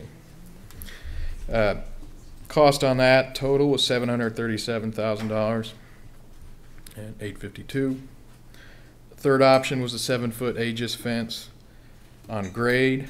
So that has no masonry piers at all. It's just a fence on grade, so it would follow the slope. Um, that one also has ornamental rings in it to dress it up and make it a little bit more residential scale. Uh, the cost on that was $592,000. So you can see a significant drop if when you're getting rid of the masonry piers. Not to say it's bad or good, but it's showing you the difference. Seven foot aegis on grade with masonry piers and rings. Uh, that gets that's seven hundred seventy-four thousand. Then the next option we looked at because some of the residents said they'd like a taller wall, maybe a ten foot wall. The the tallest walls you're getting with these fences is usually ten to twelve foot. So we got a ten foot wall in here that's on grade with rings. That's six hundred fifty-three thousand dollars. 10 foot wall uh, with rings with masonry piers, 10 foot masonry piers is 954,000. So that's pretty close to the same cost as the original uh, product that you're looking at. Then the last option is a 10 foot um, Aegis fence with seven foot piers between the, the 10 foot wall. And there's an image of that as well, but that's $828,000. I told you originally there's eight up here. There's seven that you see. The eighth one is one I, I didn't put on here because it was never asked for, but I wanted you to see it as a reference. And it's a seven foot montage, which is that fence over there on grade. And that is 551000 And that's your cheapest What's option. fence construction cost on that, total, just the fence construction? So what you're seeing on the I mean, on number eight, the one you talked about, on the. all of the fence 218,000. construction costs, What's that? two hundred eighteen thousand four thirty-eight. And those are estimates based off of uh, budgetary information that's been provided by the manufacturers. Uh, it's, it's straight from the manufacturer. Uh, The last time we got these figures for the top fence, which was the one that we selected, the price was, um, only six hundred and some thousand. Now Mm. has it gone up? This is adding all the total cost for everything. That was too. I don't, And when, when we chose a different top to replace the one that was more expensive, it saved you two hundred thousand dollars. And, I mean, this. you're talking about the fence, and You're going from the Metro fence, which was a, a Metco product, and that was the custom ornamental fence that Suzanne was talking about. That's what I said. We went from that, saved two hundred thousand dollars, to go to what was our second choice, which is what they have at, similar to what they have at Bowman Beach. That's correct. Which we all went and looked at, uh, like good little school children. But the figures, every time we get the figures, they have gone up so dramatically that it, it's just unbelievable. Ms. Waterfield, the last uh, presentation we gave had a PowerPoint that listed all the various fencing options and estimated construction costs. That was in November. Now, since November, we have spent considerable amount of time designing the footing, and the November cost estimate was based on a two-foot footing. And now that the structural engineers has designed the footing, it went to four and a half feet wide. So there's one uh, place for the increase in cost. Well, if you're not gonna put in the brick base, how did that increase the cost? Well, That first one you're seeing up there is what you guys asked for. So that's the montage two at the foundation. What I'm saying is that, that you all knew at the That, fir- that first line up there, this is the first time that we've given an official estimate on the, um, on the actual seven Th- foot with the that- brick. That first line, when we voted in November, December, we voted for a budget of eight hundred and sixty thousand, which equates to the nine thirty-six minus the relocation of utilities at seventy-two thousand, which we didn't have at the time. So the nine thirty that's up there It also did not have the landscaping Right. fee, and it didn't have the fee to design. But overall, uh, I'm just water looking at what we drainage. budget, budgetarily, we looked at a figure of eight sixty. That was all in for everything, tearing off the parking garage, landscaping, that was an all-in eight sixty. And that was based off all the Ametco products Right. and the initial stuff. These are all the different And if you take products. nine thirty minus seventy-two, that takes you right back to basically eight sixty.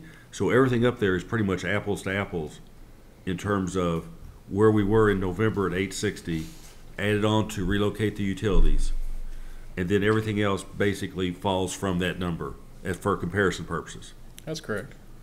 But, but were you just saying, Aaron, that new since November is the landscaping design fee and the fence parking design fee? No, Or the, did I hear that wrong? the landscaping fee is new since it was transferred over to asking for GRW to do the design of the landscape. The, and there is another, if you're gonna do a brick wall, it's like what we talked about in the meeting that we had, uh, when we looked at the design documents, is along Tanglewood Drive, if you put a masonry wall along there, there's water retention issues. We would have to put stormwater inlets on either side of that wall to collect the rainwater and get it across the street without flooding the street that's over there or damming it behind the masonry. So we have to, we have to design that system as well and work with the city to, to redo the stormwater piping. Uh, so the fence parking design fee, that was in December? If we're to go up with the, the number one up there, if, if it was decided to go with a brick wall I mean, that with, with any of these. No, the thirty-five thousand has always been the same. The first line that you're seeing up here, the forty-four thousand, if you were to go with this option, we would have to redesign that stormwater. So there's additional fee in there for us to design that stormwater Okay, system. Okay, I got you.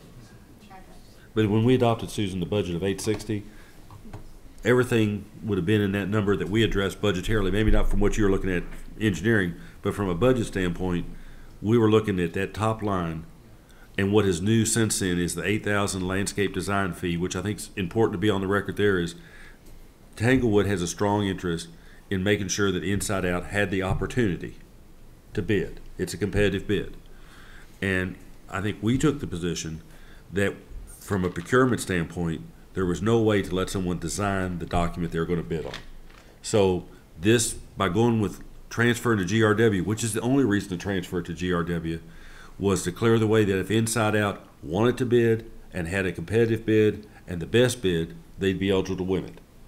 If we let them design it all, they basically are disqualifying themselves from bidding on their own job. And then the other new one was the utilities, the seventy-two thousand, and that's assuming that we could wall, we could go around that Columbia high-pressure valve and somehow cut around it and not pay Columbia Gas up to two hundred thousand dollars to move that structure. And we're a utility and Columbia Gas is a utility, they're not gonna do that for us free. Their base said, you want it moved, it's two hundred thousand dollars. So, Okay. So what I'd like to do is just go, go through, um, I know some of you, or most of you are familiar with, you know, the format that I've given a lot of these estimates in. Sorry, let me figure out how this guy's working. So each one of these estimates that you saw on the previous sheet, we put down a cost to give you an idea of total, total linear foot cost, total cost of that scope. This is just for the fencing. The cost of the fence itself, what the style was. Just showing you here that if you wanted to do privacy slats, the cost on those is roughly twenty dollars uh, a linear foot. Uh, before you get too far in, what's the current height of the fence that's there now? To, to include the, to include the angle that goes in? Just, just so we can, you know, just so we can. Right now, I think it's a six-foot fence, and it's probably going up another foot at the taper where you got the three rows of Roughly barbed wire. eight foot. But.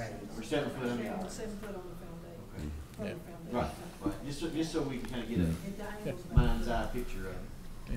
Thank you. Yep, and so that, what's there is there, and then we're looking at seven foot on grade options, seven foot fence on top of a forty inch, so that's almost, uh, you know, it's Ten feet forward. almost gonna be eleven inches by the time you're done with it, depending on where it's at.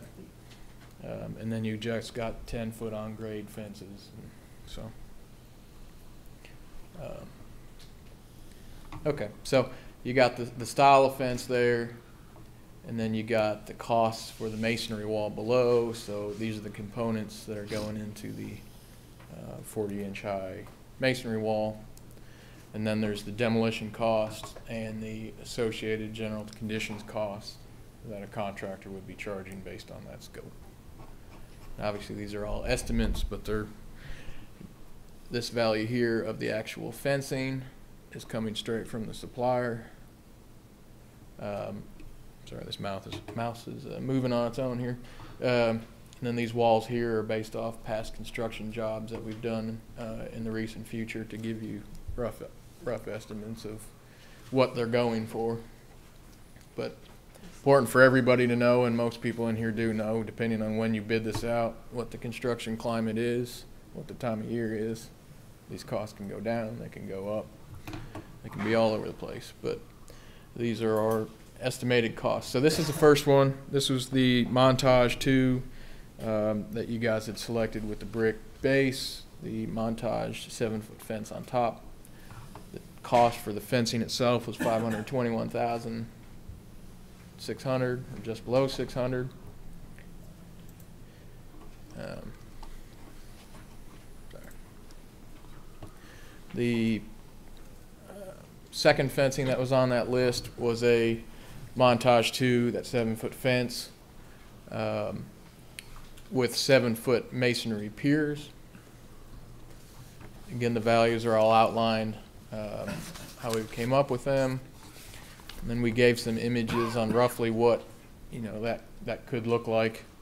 Obviously, the pier design isn't exactly what we're proposing, but we were looking for pictures of similar products from manufacturers and what they've installed.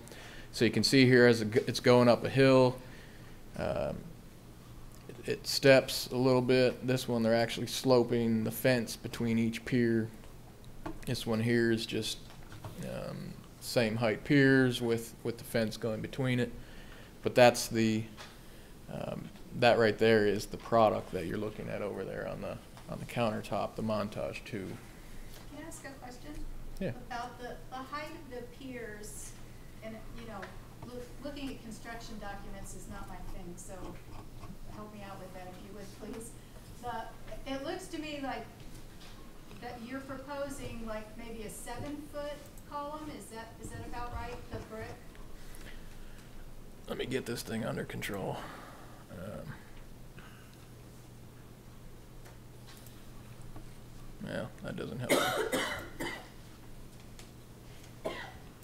Sorry, thought I was helping the cause. Uh, Okay, so th- this was just images to show you from the manufacturer's website to say this is what we've done in the past. It's similar to what you're saying. So what, what we've come, come back and looked at is, well, for this individual design, a seven-foot masonry wall, which with the cap actually makes it seven foot six high. Uh, but this is a cross-section of it to show you how we propose to construct it. It shows our four-foot by four-foot foundation for that pier. And then we gave an elevation that shows that's what that fencing system would roughly look like. Okay. So we got a cast stone base, masonry here, which is the color of the masonry you guys liked. Some banding, just some accent bands, and then a cast stone cap on top. And then the fence ties into it on either side.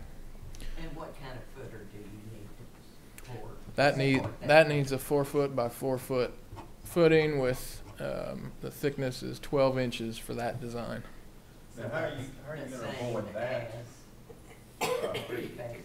How are you gonna avoid the base of the pillar, uh, getting in the way of the utilities? How, how does that happen? that's. Well, that's the, that's the purpose getting the utility survey is what we're able to do, is see exactly where everything is. Then we can lay the fence out based on its proximity to the property line, see where those, those interactions are. If it's hitting at point A, we can offset the spacing of those columns, so it's at, well, let's say B. I'm hitting at A and C instead. So we offset where those columns are. So then all that's going past that utility at that point would be your fencing. So the idea is that you'd be able, the, where the, you know, where the uh, footprint is for that foundation, you'd be able to get those outside of the utility. Now, there may be areas where there's, the utility is running too close and parallel with a property line that you just wouldn't be able to fit it at all. If that's the case, which is why we're looking at it, you could extend that foundation, make it thicker and make it longer. But the down, downside to that is when you get thicker, we're getting close to the rock that's already there. And you guys know from living up there, there's, there's not much soil before you get to rock in some areas. It's If you hit rock, if you hit rock, we have to excavate down to the depth. Um, so you'd have to hoe ram that area to take it out. So the thicker we make that foundation, the worse off we make the construction and the, So you can't get around it. it depends. It, I mean, we can, well, it really does depend. You, I mean, you can't tell it. That's the whole purpose of doing the survey. If we find out that we got, we have three and a half foot in this one area and we just can't make anything happen other than keeping this column there that we need to have it, at that one location, we can have a different footing. So, the pillars won't necessarily be located equally apart from one another. Well, the idea would to make, would be to make them equal to start with, see where it hits, and if they are hitting, we could move them all equally away and see if we're hitting anything then, or we could move them all this way. And, you know, if we get to a point where there's two or three in a row that you just can't avoid, then it comes up an issue of, well, is there no columns at those locations? Does the fence go back farther on the property? Something will have to be agreed to on what, what can happen there, because it can't, I mean, there, there has to be some, The fence doesn't rely on the columns for its strength. correct. Yeah, what, what this allows us to do is this fence at the mid, if this is sixteen foot long, so, just as an example, I mean, you could go eight foot, Then you'll have a. you could go sixteen, the way we're looking at it, to optimize and, and keep enough columns for proportion and keep the aesthetic look without it being too far separated. Go six, every sixteen foot to start with and put a column. What that allows us to do is you can do a standard, uh, column foundation, which is a post hole digger that you put for that main post, and then the other post tie on the side of the column.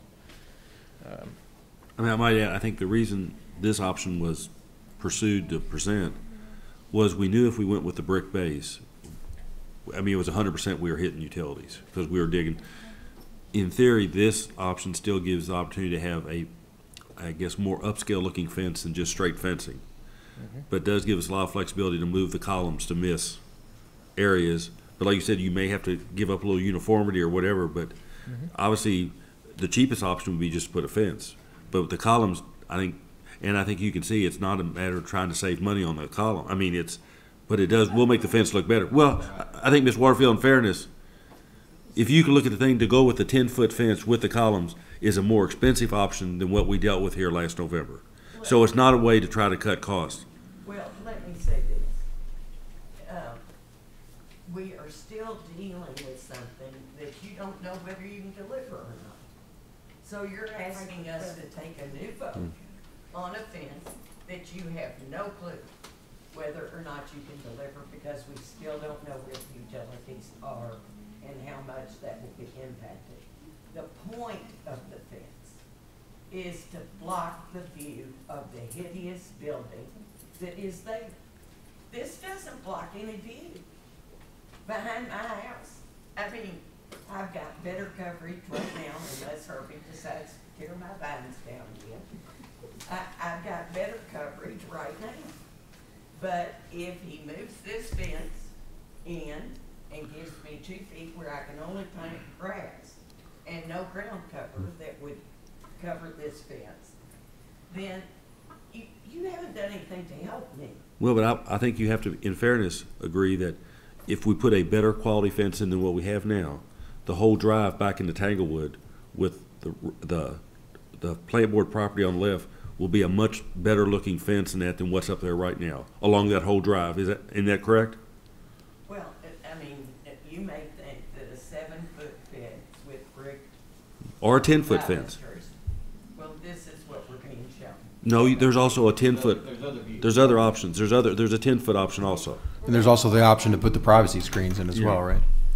I understand that, but you, you are only getting, with ten feet, you're only blocking half, less than half the view of the building behind my house.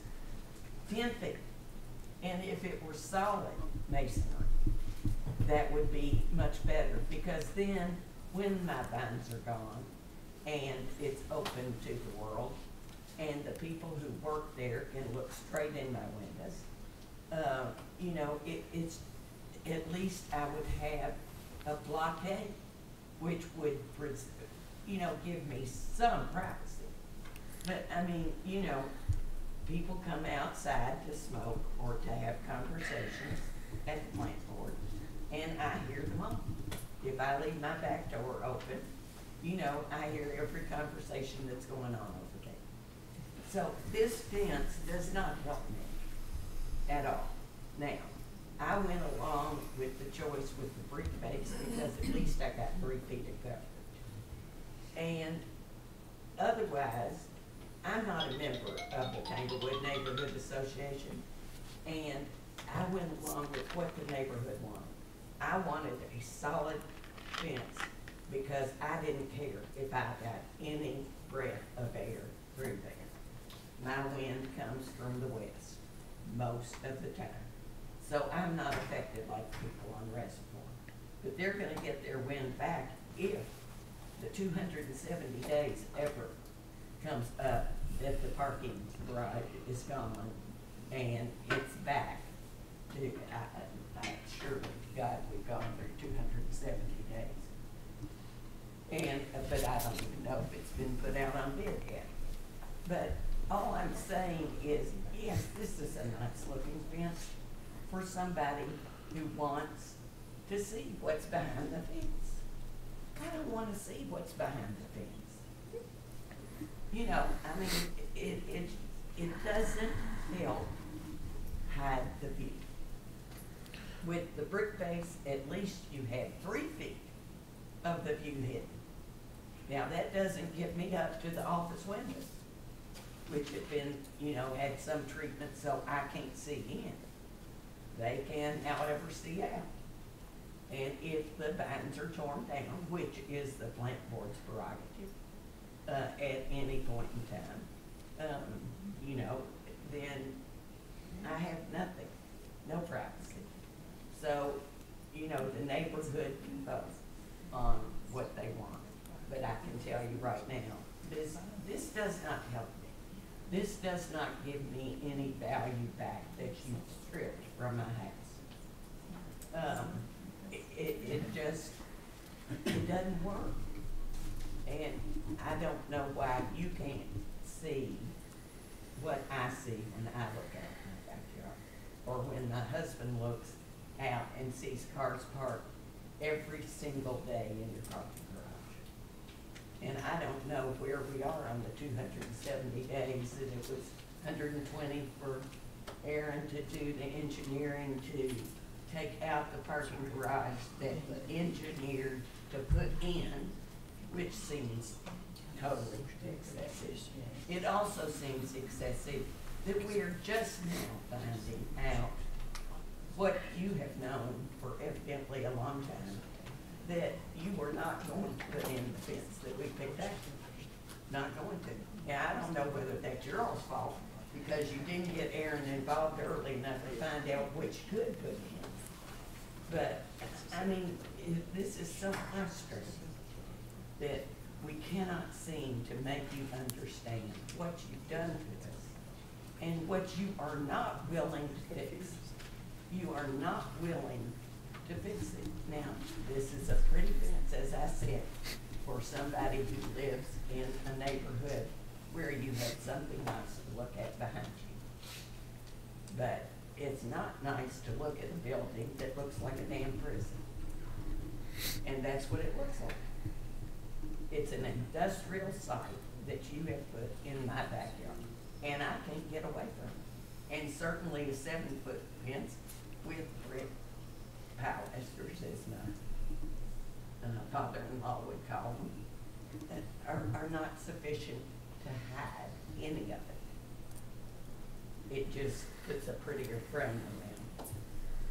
Let me, um, let me kind of keep going through these and I can show the different ten-foot option, the others, but I'll reiterate what I said in the, in the meeting we had a couple months ago with, with a couple of, uh, TNA members and everything else. I mean, when we're, when we're looking at fences and you're designing a fence, you want it to be to the scale of the surroundings, obviously, right? You put something that's closer to property and make it taller, it encloses you and makes, the proportions just aren't there. What we're doing to try to help that, by, by putting the fence around, we're upgrading the fence that's already there. We're upgrading the overall aesthetics, but in concert with what we're gonna do here, we have additional options of another fence, which I believe is over there, that has some more ornamentation in it.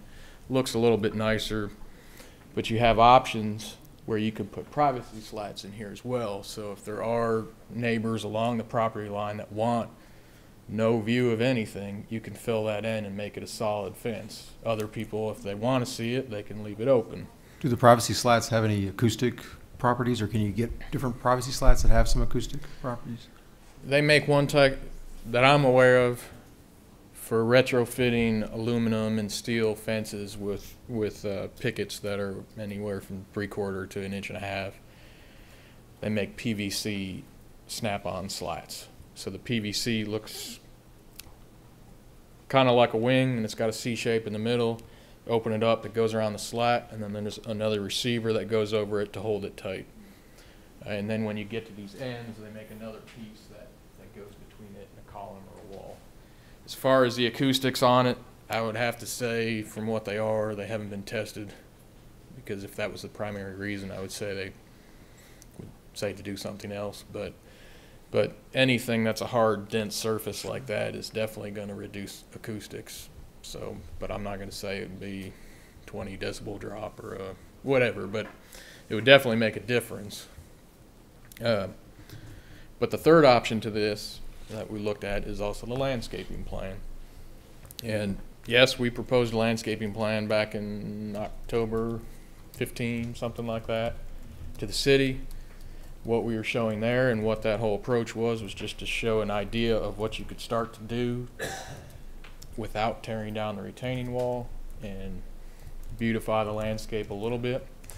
But what we're charged with doing now is we're taking the ideas of the initial inside out plan that you all worked with them on, combining it with the one we started work on, pull that all together to add more deciduous trees, add more stuff that's more coverage, like you're asking for, depending on the area it is and what would be behind that, to go in concert with the fence and then landscaping behind that to kind of blend that in and, and, and make that work depending on, you know, the neighbor that's behind there or the needs. Let me ask you. Now, it's not gonna be a solid wall. It's never gonna be a solid wall. Um, you can put the privacy slats in there and, and get rid of your view if you want to. Um, but I'd say once that, once if the retaining wall was to come down and you put landscaping up there, the perspective you have from standing in a yard and then 30 feet away, 10 foot above you is a building that's 16 foot tall, and another 40 foot away from that is a building that's 16 foot tall, whatever that water tower is. You can only see so much in your perspective. And a, and a masonry wall below might look nice, but it's not going to block a view of anything. Um, so,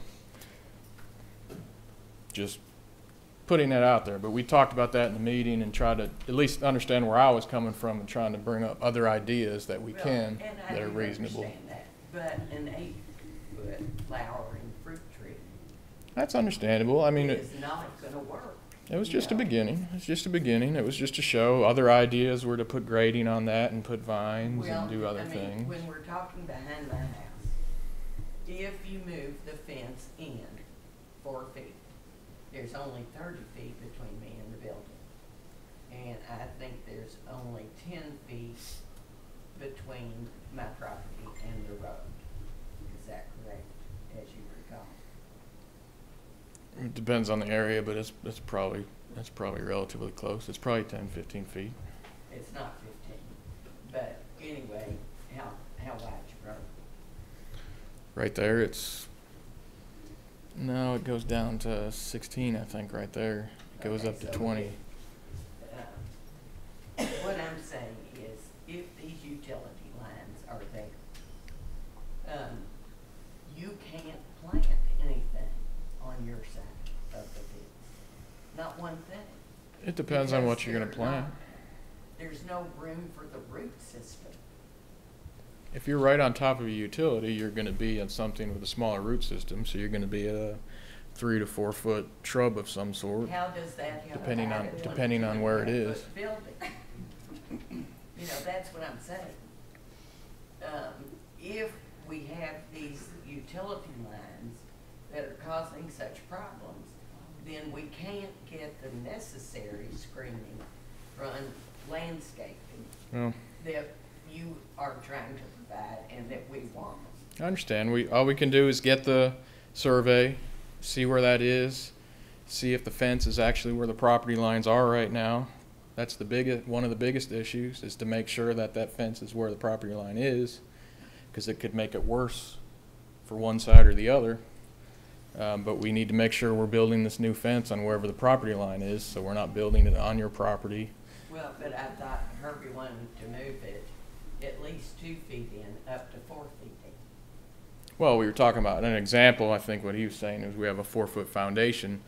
What we were doing was trying to get up to the property line, but the footing would be up to the property line. So the the actual pilasters, you called it, would be Uh, that depth back. So it would be one foot on either side of that that would be going up. So it would be a foot Well, back from the not property line.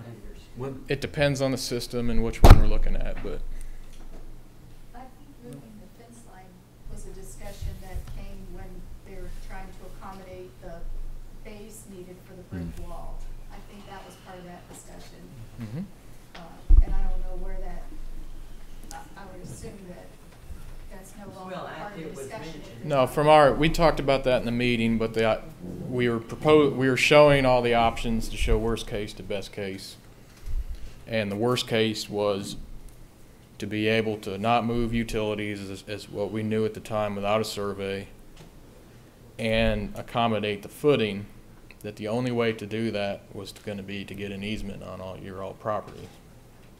And what we had talked about, and we knew you didn't wanna do that, was showing you what we could do if we go and stay completely on the plant board property. So that's the That would direction, be the city that's the property. direction that we've been taking, so. The city property, and the city would have to ask us for an easement.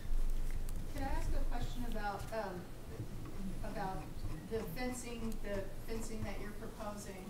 There are people that wanna grow vines. Is that appropriate for the fencing that's proposed? And also, sort of a two-part question, is it appropriate for that type of fencing? Um, and then the second part is a pla- question for the plant board. Uh, Is there issue with the plant board coming along and doing, uh, cutting people's minds off? Is there gonna be some sort of issue with that? For people that wanna grow vines to obstruct the Well, the vines on the fence is gonna come down to a manufacturer's warranty issue, and depending on the manufacturer who ends up getting the thing, they'll have different requirements on that. I would have to say, from a pessimistic view, that they would probably say that they're gonna not give you the warranty if you have a bunch of vining vines on it. That may not be the case, but just How saying worst case, so. What's the traditional warranty, the usual warranty? I think on the, these ones we're looking at here are twenty-five year finish. So would it vol, so if, if vines, uh, theoretic, uh, if you plant it, if the residents put vines, I assume the warranty there about the vines is not about the structural integrity of the fence, it's about the finish? It would be, yeah, it, it'd have to look at this specific manufacturer, but I'd say the finish is really the extended warranty you're getting. Most of the, the structure of the, of the, um, products isn't that long. It's usually like ten year or seven year. So it's mainly the vine issue would be just on the appearance It's gonna be the deteriorating the actual product, and that's what people are gonna call and complain about when the paint starts peeling off their fence or, or, uh, start getting rusting if it was on a steel fence. But in terms of vine, would vines cause any structural problem as far as the, It's gonna increase the wind load on it, but is this engineered to take that wind load, the way we got it right now, it's not gonna be a problem, yeah. even including the privacy slats? Yeah, we've designed it to accommodate a percentage of privacy slats on it, so. And then what about the plant board's policy? I don't, I don't know what makes, what's, makes the company come by and start doing, uh, maintenance or whatever you might call it, but would the plant board be okay with people growing their vines and not having them cut off? It would be okay with me if y'all wanted to grow vines as long as everybody is on board that the manufacturer's warranty may not be as long. Again, the, it's a board decision, but operationally, if things were ones that grow vines, we certainly wouldn't want to, you upset the neighborhood.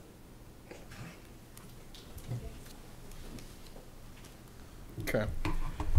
Uh, so I'll get back into this and we'll probably come across a couple others that you can see, but, um, Go ahead, just a second. What, everything you've proposed, I don't want to cut it short, but I mean, anything you put up there is gonna be better looking than whatever's up there now, okay? Uh, but after our meeting in March, we went back to the neighborhood association, those of us that were at the meeting, and sold the neighborhood association on going around the Columbia gas. We did not sell the neighborhood association on giving up the brick base. We don't have anything to take to the neighborhood association this week, because what you've said, and I understand, is those brick columns, you don't really know yet what you can do with them, or if you can put them in or not. So we have nothing to take right now. Uh, in terms of, if you want the neighborhood association to say, yes, we buy off on this or that. And understand that the, the interests of the neighborhood association are not the same as Lee Waterfield's right now. And some of those maybe other adjoining neighbors. But we have nothing to take right now. We still don't. And, and I, and we'll, we'll have, we'll elect officers, but Down, we, we can't make a recommendation. We can say, you, will you approve this with the brick columns, only to come back three weeks from now to say we can't do the brick columns. Um, When you, when Aaron, when you turn over to Herbie tomorrow or Thursday or whatever, where the util, where the utilities are, property line, everything, will you be able to say with some degree of certainty at that point that columns, I mean, the final spacing has to be worked out and so forth, will you be able to say with some certainty that the columns is a feasible option? I mean, I could tell you right now, the columns is a feasible option with what we have. The issue is gonna be where and how many instances that we might have a conflict that we would have to go twenty-four foot without a column or go eight foot with columns and then go sixteen or something to But that will miss. pop up on- To miss a utility that, that you wouldn't want to have to But you'll be able to make a relocate. general assessment of that when you see those utilities. Yeah, I mean, the hope would be to get you the drawing as fast as possible, so I wouldn't take the time to integrate the two, but I get you the drawing and then we'd be looking at it at the same time. But the big picture there was to show you, here's property line, well, here's property line, either here or here or here is where the fence at truly is. And then here's a utility here, here, here, and you can get a pretty good picture of just showing a, a two foot line off that property line of what's gonna hit that. Now that's, that'd be pretty easy to do. Now the implications of what the exact utility is and how, uh, you know, how much of an issue that is, is a different story, but we'll be able to know right away if it's what we're gonna be hitting. Well, I guess, I'm, I, I think, I think, uh, Roger brought up a good point in that in order for this board to make a decision and give Tanglewood time for input, I guess the question, I don't want to, but to use kind of an analogy, we can't start the clock running until they have everything they need to look at. And then I think it's, then they ask them, when can you get back to us? Mhm. But that clock really can't start till they've got everything, in a- is that fair? I mean, I mean, we, when do you think, I mean, we've got to be in a position to say, you've got everything we've got. And answer some of these questions that we came up with tonight.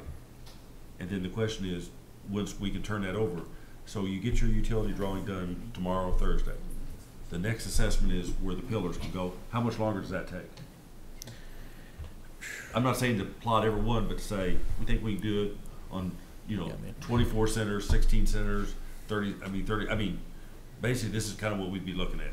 Yeah, I mean, to miss big picture stuff and get an idea of, you know, where we can go with the fence, it's, it shouldn't take that long. It's, Define- it's just an issue of define- getting, I think in getting the fairness- utilities in and making sure that we have captured everything Yeah. correctly on the utilities And in before we fairness get to ahead you, of ourselves. I think for their purposes tonight, I think you're gonna have to define that long. That long, two days, two weeks, one week, thirty-six hours? I mean, I what's, think it depends on what, what exactly you're looking for. I mean, are you looking for a construction level site plan that shows all the columns and interactions with the utilities, or are you just wanting a line on there and me highlighting sections where I say this, you know, this is a worst case scenario, plant board, you need to look at the utility that's there and say how much this is affecting you, whether you can move it without much issue, or if it's one of the big picture, this is gonna cost twenty-five grand to move this one wire here. Um, but I could get, I mean, just as an individual drawing to get that's coordinated with, with column locations. Um, I mean, I, not to tell you wrong, but I think by next week we could have that. Well, Would ninety percent of those columns be in the correct spot, or are we still playing with the fact? Still guessing of, you know, how many lines, I mean. I have it know, tentatively drawn right now on the existing site plan. But we, we have to modify the existing site plan based on the true utility survey that's being done. So So when I import that in, I can see where I'm at then, but I'm gonna have to move that to line up with the final property line, which I know the property line isn't exactly that fence. It's some this way, it's some this way. My question was gonna be, how deep are the current stanchions for the current fence?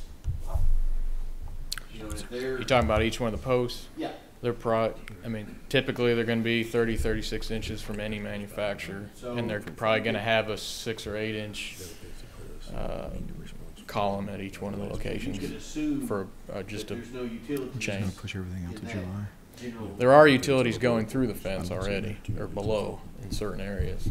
We, not near, not where those columns, or not where those. not necessarily where a post is, unless you got, there was some, a water line that was dug that's really deep, you know, I when guess it's what I'm getting constructed. is, you could use the current, you couldn't use the current fencing No, basically what it comes down to is the, the big problem came up when we moved the fence totally on FPB. If you went exactly back to where it is today, but you're gonna disrupt two feet into the neighbor's yard at least. So ah. to roll all that back, that's where you're getting into the utilities. I mean, two foot plus, I mean, two foot would be Yeah. optimistic, cause. Right. Just want to make one clarification about the maps that we'd like to see. Um, The maps showing where the pillars would be absolutely that's important. Um, I feel like the plant board still needs to make the case to the neighborhood why the three-foot brick base is not possible. And if that's a separate map, then maybe that needs to be a separate map, however you all need to do it. But, um, as far as the neighborhood as- association is concerned, all we've heard is there's gonna be a conflict. We haven't seen the maps and we would like to see the maps. I, I think there's some people that are still very interested in the three-foot big brick base. Um, and so that's just a discussion that we're gonna need to have amongst ourselves about that. But I, but I would just wanna make sure that we're not just gonna get one map that assumes that we're going with pillars because we haven't reached that point as a neighborhood yet. So then wrap all that up, Aaron, do you think by, you know, June 9th, you could have us, or have the whole group, um, the map with the feasibility of the only pillar fence and also a map of the feasibility of the walled fence? Is that next Thursday or? That's next Friday. Friday. Um,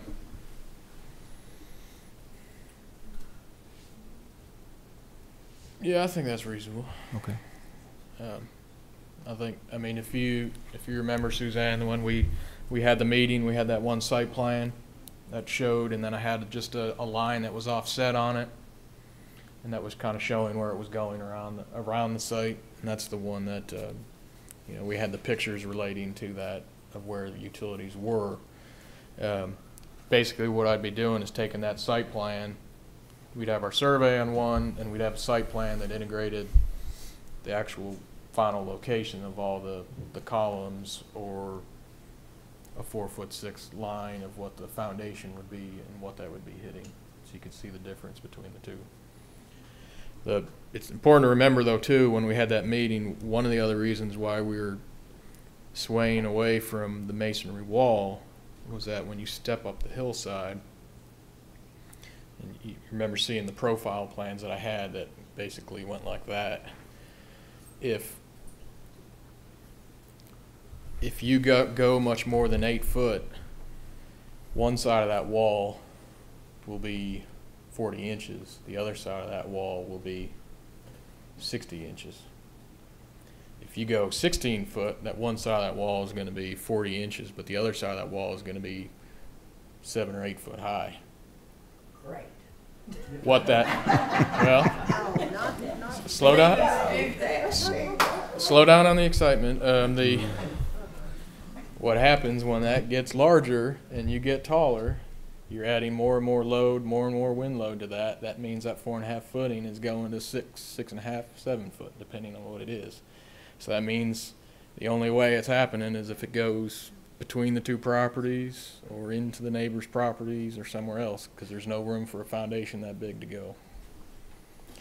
So that was part of the reasoning why think the plant board was wanting to look at other options that were aesthetically pleasing in combination with the, the landscaping.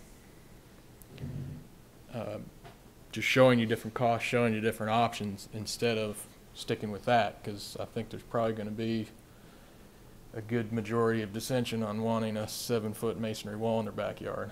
Um, so, anyways, that was part of the reason why we did that. Not to say it's the final solution, it's good, bad, whatever. They're just options for you to see. So s- some of the reasons why people like the brick base, um, a- and I'm asking, I'm gonna share these so you can tell me how these issues might be solved another way. Um, so one issue is that, uh, is maintenance. When you use your weed eater to get around there, you're gonna be, uh, messing up the finish on, on the, on the, uh, the posts, and so if you have a brick base, that's not a concern. That was one issue. Uh, another issue is people are concerned if they have cats or dogs that their pets will, um, be able to get underneath those, uh, those, you know, an on-grade fence, and that that wouldn't be an issue with a brick base.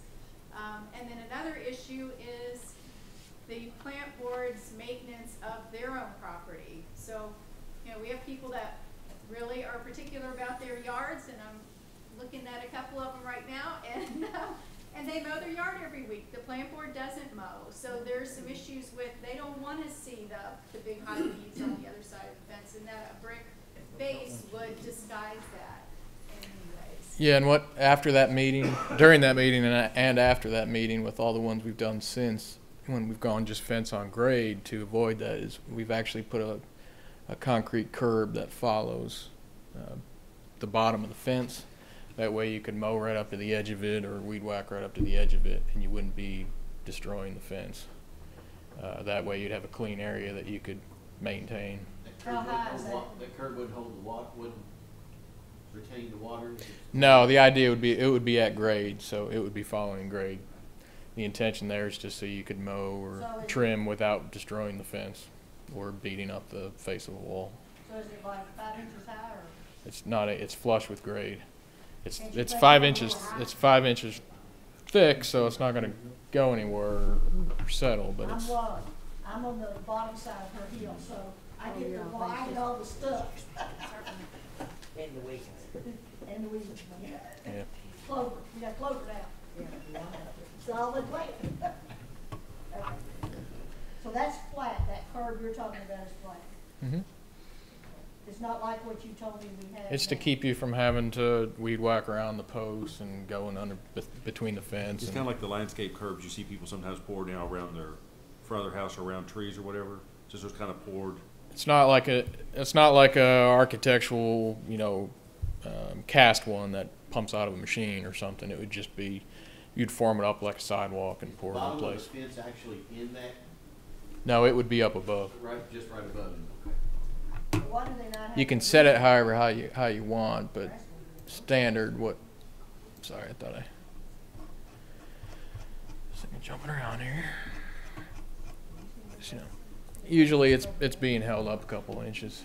You don't want that to be that close to moisture or to weeds or anything else, cause it's the same thing as the, sorry.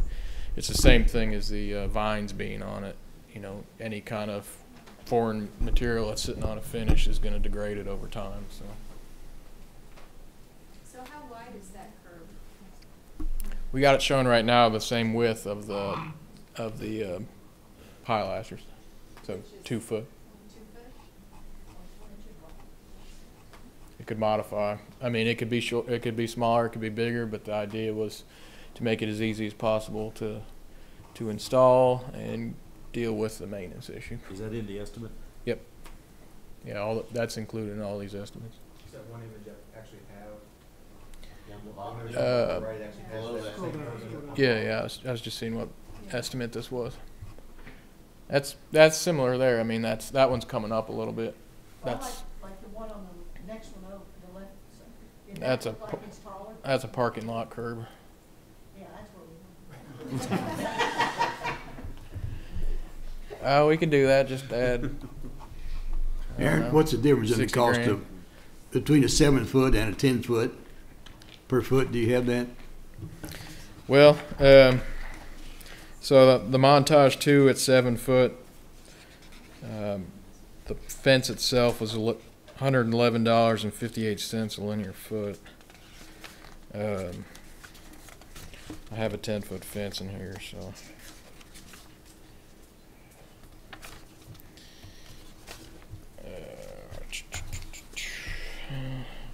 In here somewhere. The, the Aegis one is hundred eighty-four dollars a linear foot, so it's, it's gonna be pretty close, but it's about seventy dollars a linear foot for the extra three feet. How tall are these ceilings? That tall. Um, no, they're, it's a ten foot to the, uh, acoustical tile. Fourteen. Ten. So It's a nine 10 foot would- six to the soffit. So a ten foot fence would basically be the height of this ceiling.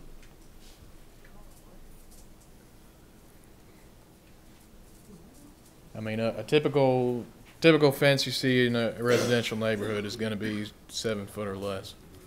Probably six foot in most cases. But.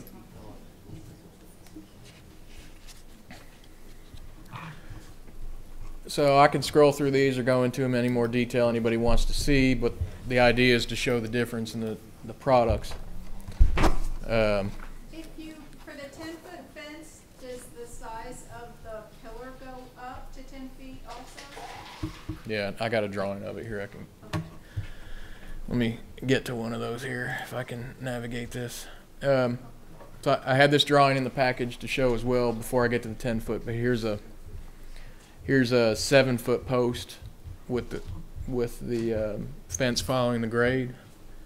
So what we could still do with the posts is they can be at um, you know follow the grade, and then the, the fencing actually allows you to tilt it to a certain angle, so you can still get it to follow grade and have the posts. But that that's what that image was there to hopefully represent for everybody. Uh, this was another one just showing a straight fence with that. But uh, these piers, if you look in the details on all these, it's cast stone base, mas- uh, masonry brick, and then I got soldier course, some more masonry, and a, and a cast stone cap. But this one right here was just trying to show this is the Aegis fence, which is over there. This was the kind of the next tier up to show you that you know we got three divisions, and it also has these rings. It's just a little bit more aesthetics to it than just straight lines to to help with that. Um, I'm getting to the 10 foot as fast as I can scroll. Um, so this guy here is a 10 foot Aegis on grade.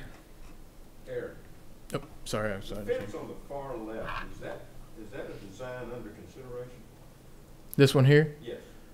Yeah, that's the Aegis fence. That's what all these are.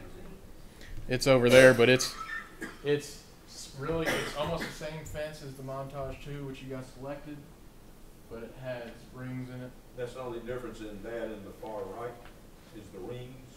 Pretty much, yeah. And I put these on here to the best examples that they had for their products, It just looks like the top of that fence is different. it's hard to see. Um, what it is, this one has uh, finials on it. Yeah. Um, So that's, finials are added to, Yeah, so a That- standard a standard price on one is the press tip, which, and with the montage or this, they're square unless the tip is compressed, and the, the compressed tip is the standard, which is the most economical. You can leave it square, and they can get finials that go on the top of each one as well. There's three or four different options. Um, I don't know the price exactly. I can ask them to get it on it, but I would assume it's uh, it's probably ten or fifteen dollars a foot or something like that to put the finials on. per foot. Yeah, I mean each one of them's probably three or four bucks or something. I think Kirby, you said what, they're manufactured, what, in Oklahoma? Tulsa? Tulsa, Oklahoma, and the samples that we've got over on the countertop, they do not show the ring. Um, they wouldn't provide those samples for whatever reason. Well, they don't. Other than the standard montage two and the standard Aegis, they consider them all custom order. So if you wanted to pay to have one custom made, they might make it for you, but but they're not going to have it off the shelf to get to you in, in the time time frame. But it's just a it's just an ornamental ring that goes in that same spacing, so the spacing would be the same. Uh,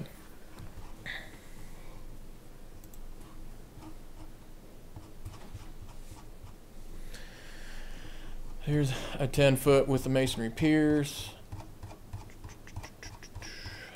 Those pictures are the same because they were there, but I got a drawing of it. So that's a 10 foot masonry pier. So what I was showing there was increasing the cast stone base one more course because it got taller.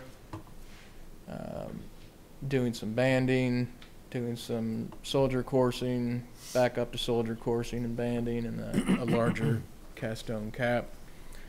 But again, like like uh, like Herbie or, or John said, whoever it was, I mean, this is a ten foot room, so that's a that's ten foot tall. Uh, it's a pretty tall fence. uh, Way up there. You've got a seven foot pier. I do, but seven and ten foot fence. this is the detail. It's important to know because this goes back to everything else we were saying. If you go to a 10 foot pier there,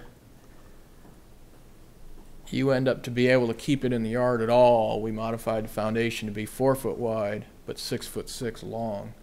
and instead of 12 inches deep, it's now 24 inches deep, the foundation. And this thing requires twice as much rebar and everything else. Um, so, best case scenario, not that big of a deal other than being a lot more money. But you may hit a bunch of areas where you don't got 36 inches deep without hitting rock. And if you hit rock, we have to. Well, I know, that's what I'm saying. So the deeper you make this foundation, the more you're getting into substantial excavation work. So you'd have to hoe ram to take the rock out of that area to be able to put that foundation in. Um, so on top of it just being really tall, it, it affects other things. Here's a another 10 foot, and this one shows the 10 foot with a. There's a 10 foot fence next to a seven foot um, pilaster and a seven foot fence, just to show the difference between them. But if you were doing that, if you're going with a 10 foot fence and a seven foot pilaster, what we would actually do is put a post before the uh, another fence post before the pilaster to keep from transmitting this load onto that. Not to say it's good, bad, ugly, but it shows you what the reality is. So, um, I, um, you know, it can be done, but I, I, I don't think I would recommend um, going to that kind of scale. But that's what it looks like. Um, so that's all the drawings and spreadsheets for the, the different products that are on this this list here. Um, so I guess if there are any other questions or any clarifications, I can attempt to do my best. Question. In some of the emails, or in one of the emails that we were sent, uh, I think on Friday, that we looked over, um, over the weekend, I think you made reference to an eight-foot fence product from somebody. Do you recall that? Um, I'm not. Is that an email from me, or are you talking about from the plant you- board? You sent it to, uh, the plant board, uh, but the key information that we got to review, basically. Um, I- Um, I don't honestly remember 100%, but I know they make the fencing in incremental steps. So depending on what the product is, some of them they don't have an eight foot fence or a six foot fence. Some of them they do. I think that may be what that email was was confirming what you could get and maybe these different options. Um,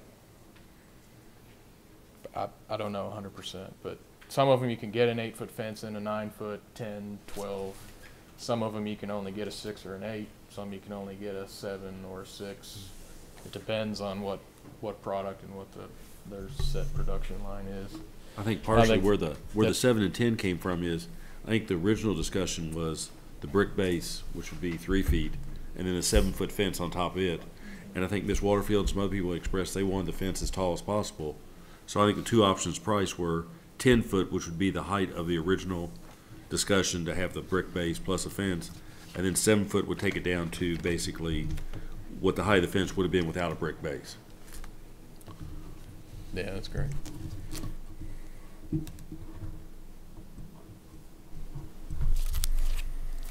Does anyone have any more questions? I know, you- I know you've already said this, but I can't remember. That's fine. If they have a brick base, is the foundation, everything gonna be on the plant board side, or is it gonna come over on our property? Yeah, so what we were, what we were trying to do was keep all the construction on the plant board's property. That's what, that's what we were trying to show at the last meeting. Okay. So what that would mean is the foundation that you didn't see would be right up on the property line below grade. But depending on what the width of that foundation was, the actual masonry wall would be set back twelve to eighteen inches back from the actual visible property line on grade. Okay, So there'd be, but if we have there'd the be one eighteen with the- inches the of. pil- pilasters, Mhm.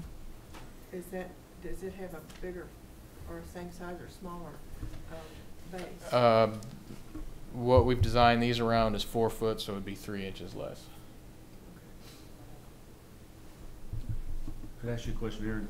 Kind of going back to the question Ms. Gray asked about on the reservoir, I think maybe you asked on the reservoir. On this fence from basically an estimate in terms of time to take down the old fence, pour the columns, put the fence in. What kind of timeline are you looking at from kind of start to finish? And the parking structure, because that's in. Right. Uh, well, it'll go in sequences for sure. The first thing that'll happen would be demolition. Um, so you'd be demoing the Demolition of the parking structure? You'd be demoing the parking structure, and unless we specified otherwise, they'd they'd be demolishing the fence at the same time.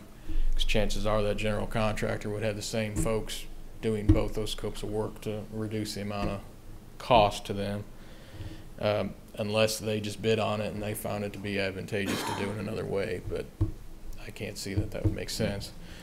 Um, so just demo on that. Um, just going off my head right now without without uh, looking at anything, but I'd say it's probably.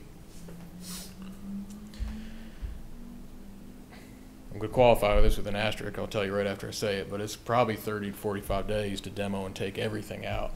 Worst case scenario. And then to build back. Reasoning for that depends on what happens with the parking structure based on the utilities and how it comes down. And then once you tear down the fence to build back a new fence, how long is that, would that take?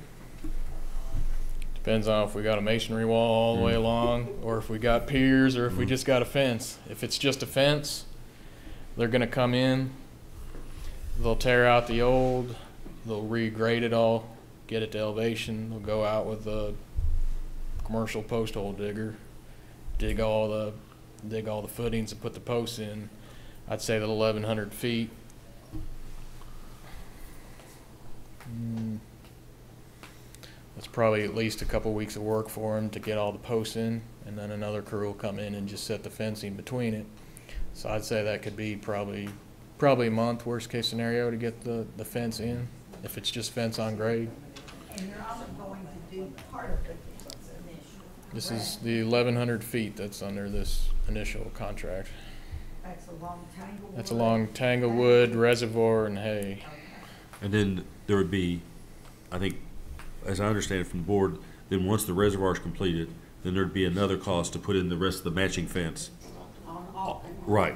That's And that's not in these estimates, that's, That's not in this, yeah. right. But we don't have to go through all this.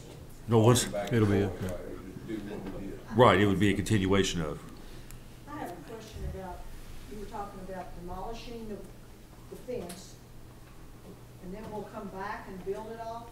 Or are they gonna demolish, like, my house will demolish my fence and put it all up in the same day, or am I not gonna have anything for a period of time, and when are they gonna level, and, because. When they come in to do demo, they're, they're, it depends on the season when they're coming and when we get them out there. But if it's before we get into winter and rainy season here, they'll be able to do it without too much of a horrendous mess. But if they get into it and it's wet season, they're gonna do it all at once, cause they're gonna tear everything up if they keep going in and out. And they'd be paying multiple subcontractors to be in there at the same time, which would not make sense, so. The only way they'd tear down sections and come back, build it, tear down the next, build it, is if we specified it that way. And if we did it, it would, it would cost multiples more to do that. So Cause what really costs the money is the labor, it's not the materials of any of this, it's, So it's the labor. Fixing us from the foundation is gonna come out, the curve like we have, to match up to you all, because if you don't put anything in, it rains, my patio's gonna be mud. Yeah, I mean, when they're doing construction, when they're doing construction, they're doing any demolition, they'll have to do, um, they'll have to do erosion control measures wherever they've, wherever they've demolished anything. If they don't put it in and it destroys something that's downhill of that, they'd be on the hook to replace it or fix it, so. But like, if I'm like, if, if the wall, I'm like two feet higher, my bed, my floor bed's back up to the wall, so I'm like two feet higher than your side, so when they take that wall out, what's gonna happen? You're talking about the parking Uh, no, I'm talking About about the- the fence. Okay. Okay, in back of my house, I, Right. I don't have the vines. I have all big block, block that goes across. And like, Adam's shaking his head over, it. it's like, okay, so they come and take that out, and I'm about two feet high, or a foot higher land than they are on the other side. And now I have a flower bed, or, you know, it's all flowers Which, which property are you on? Are you in the back corner? On the reservoir, corner, Okay. corner of reservoir. Yeah, you got the tiered uh, retaining walls and stuff that go up, landscaping retaining walls that go up. No, I'm, I'm just flat straight across. If you walk to the back of her I on the thought it parking tiered garage. down, not it was Yeah, if you walk to the back of the parking garage and look, and just get out of your car, you look right into it. Yeah. I don't know where a parking garage is, Is a parking structure? Well, the parking structure, just come on down put the drain tile in her driveway. No, I, I understand, I understand. right. But there's a, there's a planter bed that's off from that, that you got flowers and other stuff in. Well, it's, it's just that, I just built some extra walls to terrace my side, so when they come over, I mean, I'm just wondering what's gonna happen. Yeah, we're not, we're not proposing to change grade. We're, we're not proposing to change grade, but, I mean, when they go to excavate to make for these footings, I mean, if it's a four by four footing, they're not gonna be making a four by four footing. I mean, the hole's gonna be a little bit bigger. It, it just is what it What when you do is when they take construction. wall out, I'm a foot higher than them on that side, all my stuff's gonna fall over there. I guess is what I'm asking. When they come and demolish, what's gonna happen to my property? They It take that out, and all my beds or any, anybody's, what, what happens? And she's kinda got double jeopardy in that oh, I under, she's got the parking garage and Yeah. the fence with a concrete wall, so when we take out the garage and tear out the whole fence, there's a window of time when you're vulnerable Yeah. to heavy rains and stuff, yeah. no, I, And I know exactly what you're saying. I understand it. It's, it really comes down to, we get the survey where the actual property line is, where everything is, and it, it's gonna determine what has to be done to either maintain property that isn't plant boards on the other side of that, or if the plant board property line is on property that has neighbor stuff built on it already, what's gonna happen in those areas. Once that's determined, then we can specify exactly what has to happen in special case areas if it, if it does happen, but I know what you're talking about. You got Yeah, your when they come area. Take that out, I know. There's your area, and then there's the first on Tanglewood that has a wall that goes up between it. That's a pretty steep drop off as well. And then so when you get those maps together, we'll be, will be- we be able to identify the individual lots that we may have to do some more effort to keep, to minimize the, We'll have a pretty good, we already, I mean, depending on where the property line is, we got a, a decent idea already of where there might be some conflicts, but it depends on So we'll be, that we'll be able to highlight those on the map. Yeah, I'd hope, hope to be able to know that this, this and this here are areas that we need to work between both parties and determine what we're doing there, so it's Okay. either stuff gets regraded on one side, or it's left as is, or it's whatever that is. Because I got some things even growing on the fence, so I needed some advance notice to definitely move. So I got a grandmother rose bush on that fence, so it was, it's sentimental. I'm sure somebody will let you know far in advance before somebody's coming. So Aaron, I, I, I wanna just make sure, cause I, I'm hearing something, I think I'm hearing something that might, might be a concern.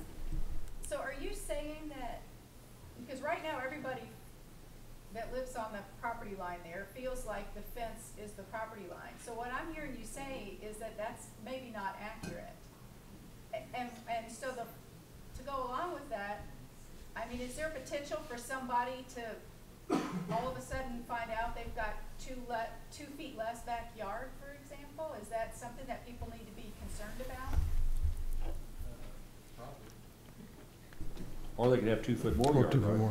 There, you could have two think- foot more yard, you could have two foot less yard, or three foot less I, I yard. don't, I don't, I don't know that people. I'm not saying that somebody's gonna show out, come out there and start digging on your yard before you know about it, but once we, that's the whole purpose of having the survey. I can't draw where a fence or a footing or anything else goes without knowing where I can go to and be on plant board property and miss the utilities. So our survey guys have already been out there. I know where the stakes are. I haven't seen it electronically, but I can guarantee you there's some areas where there's less property than you think there is.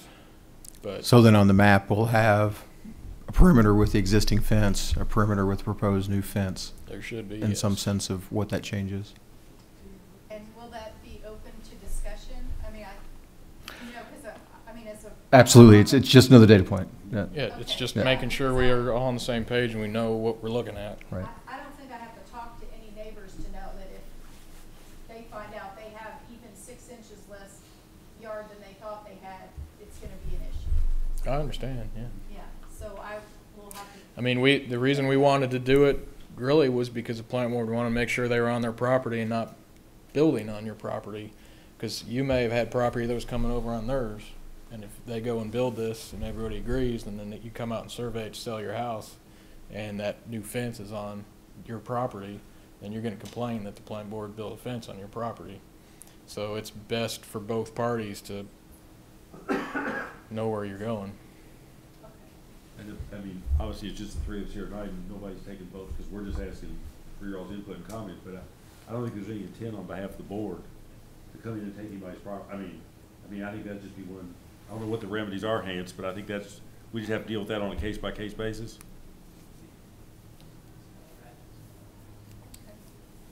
I just wanted to get Sure, yeah. cleared up. Thanks.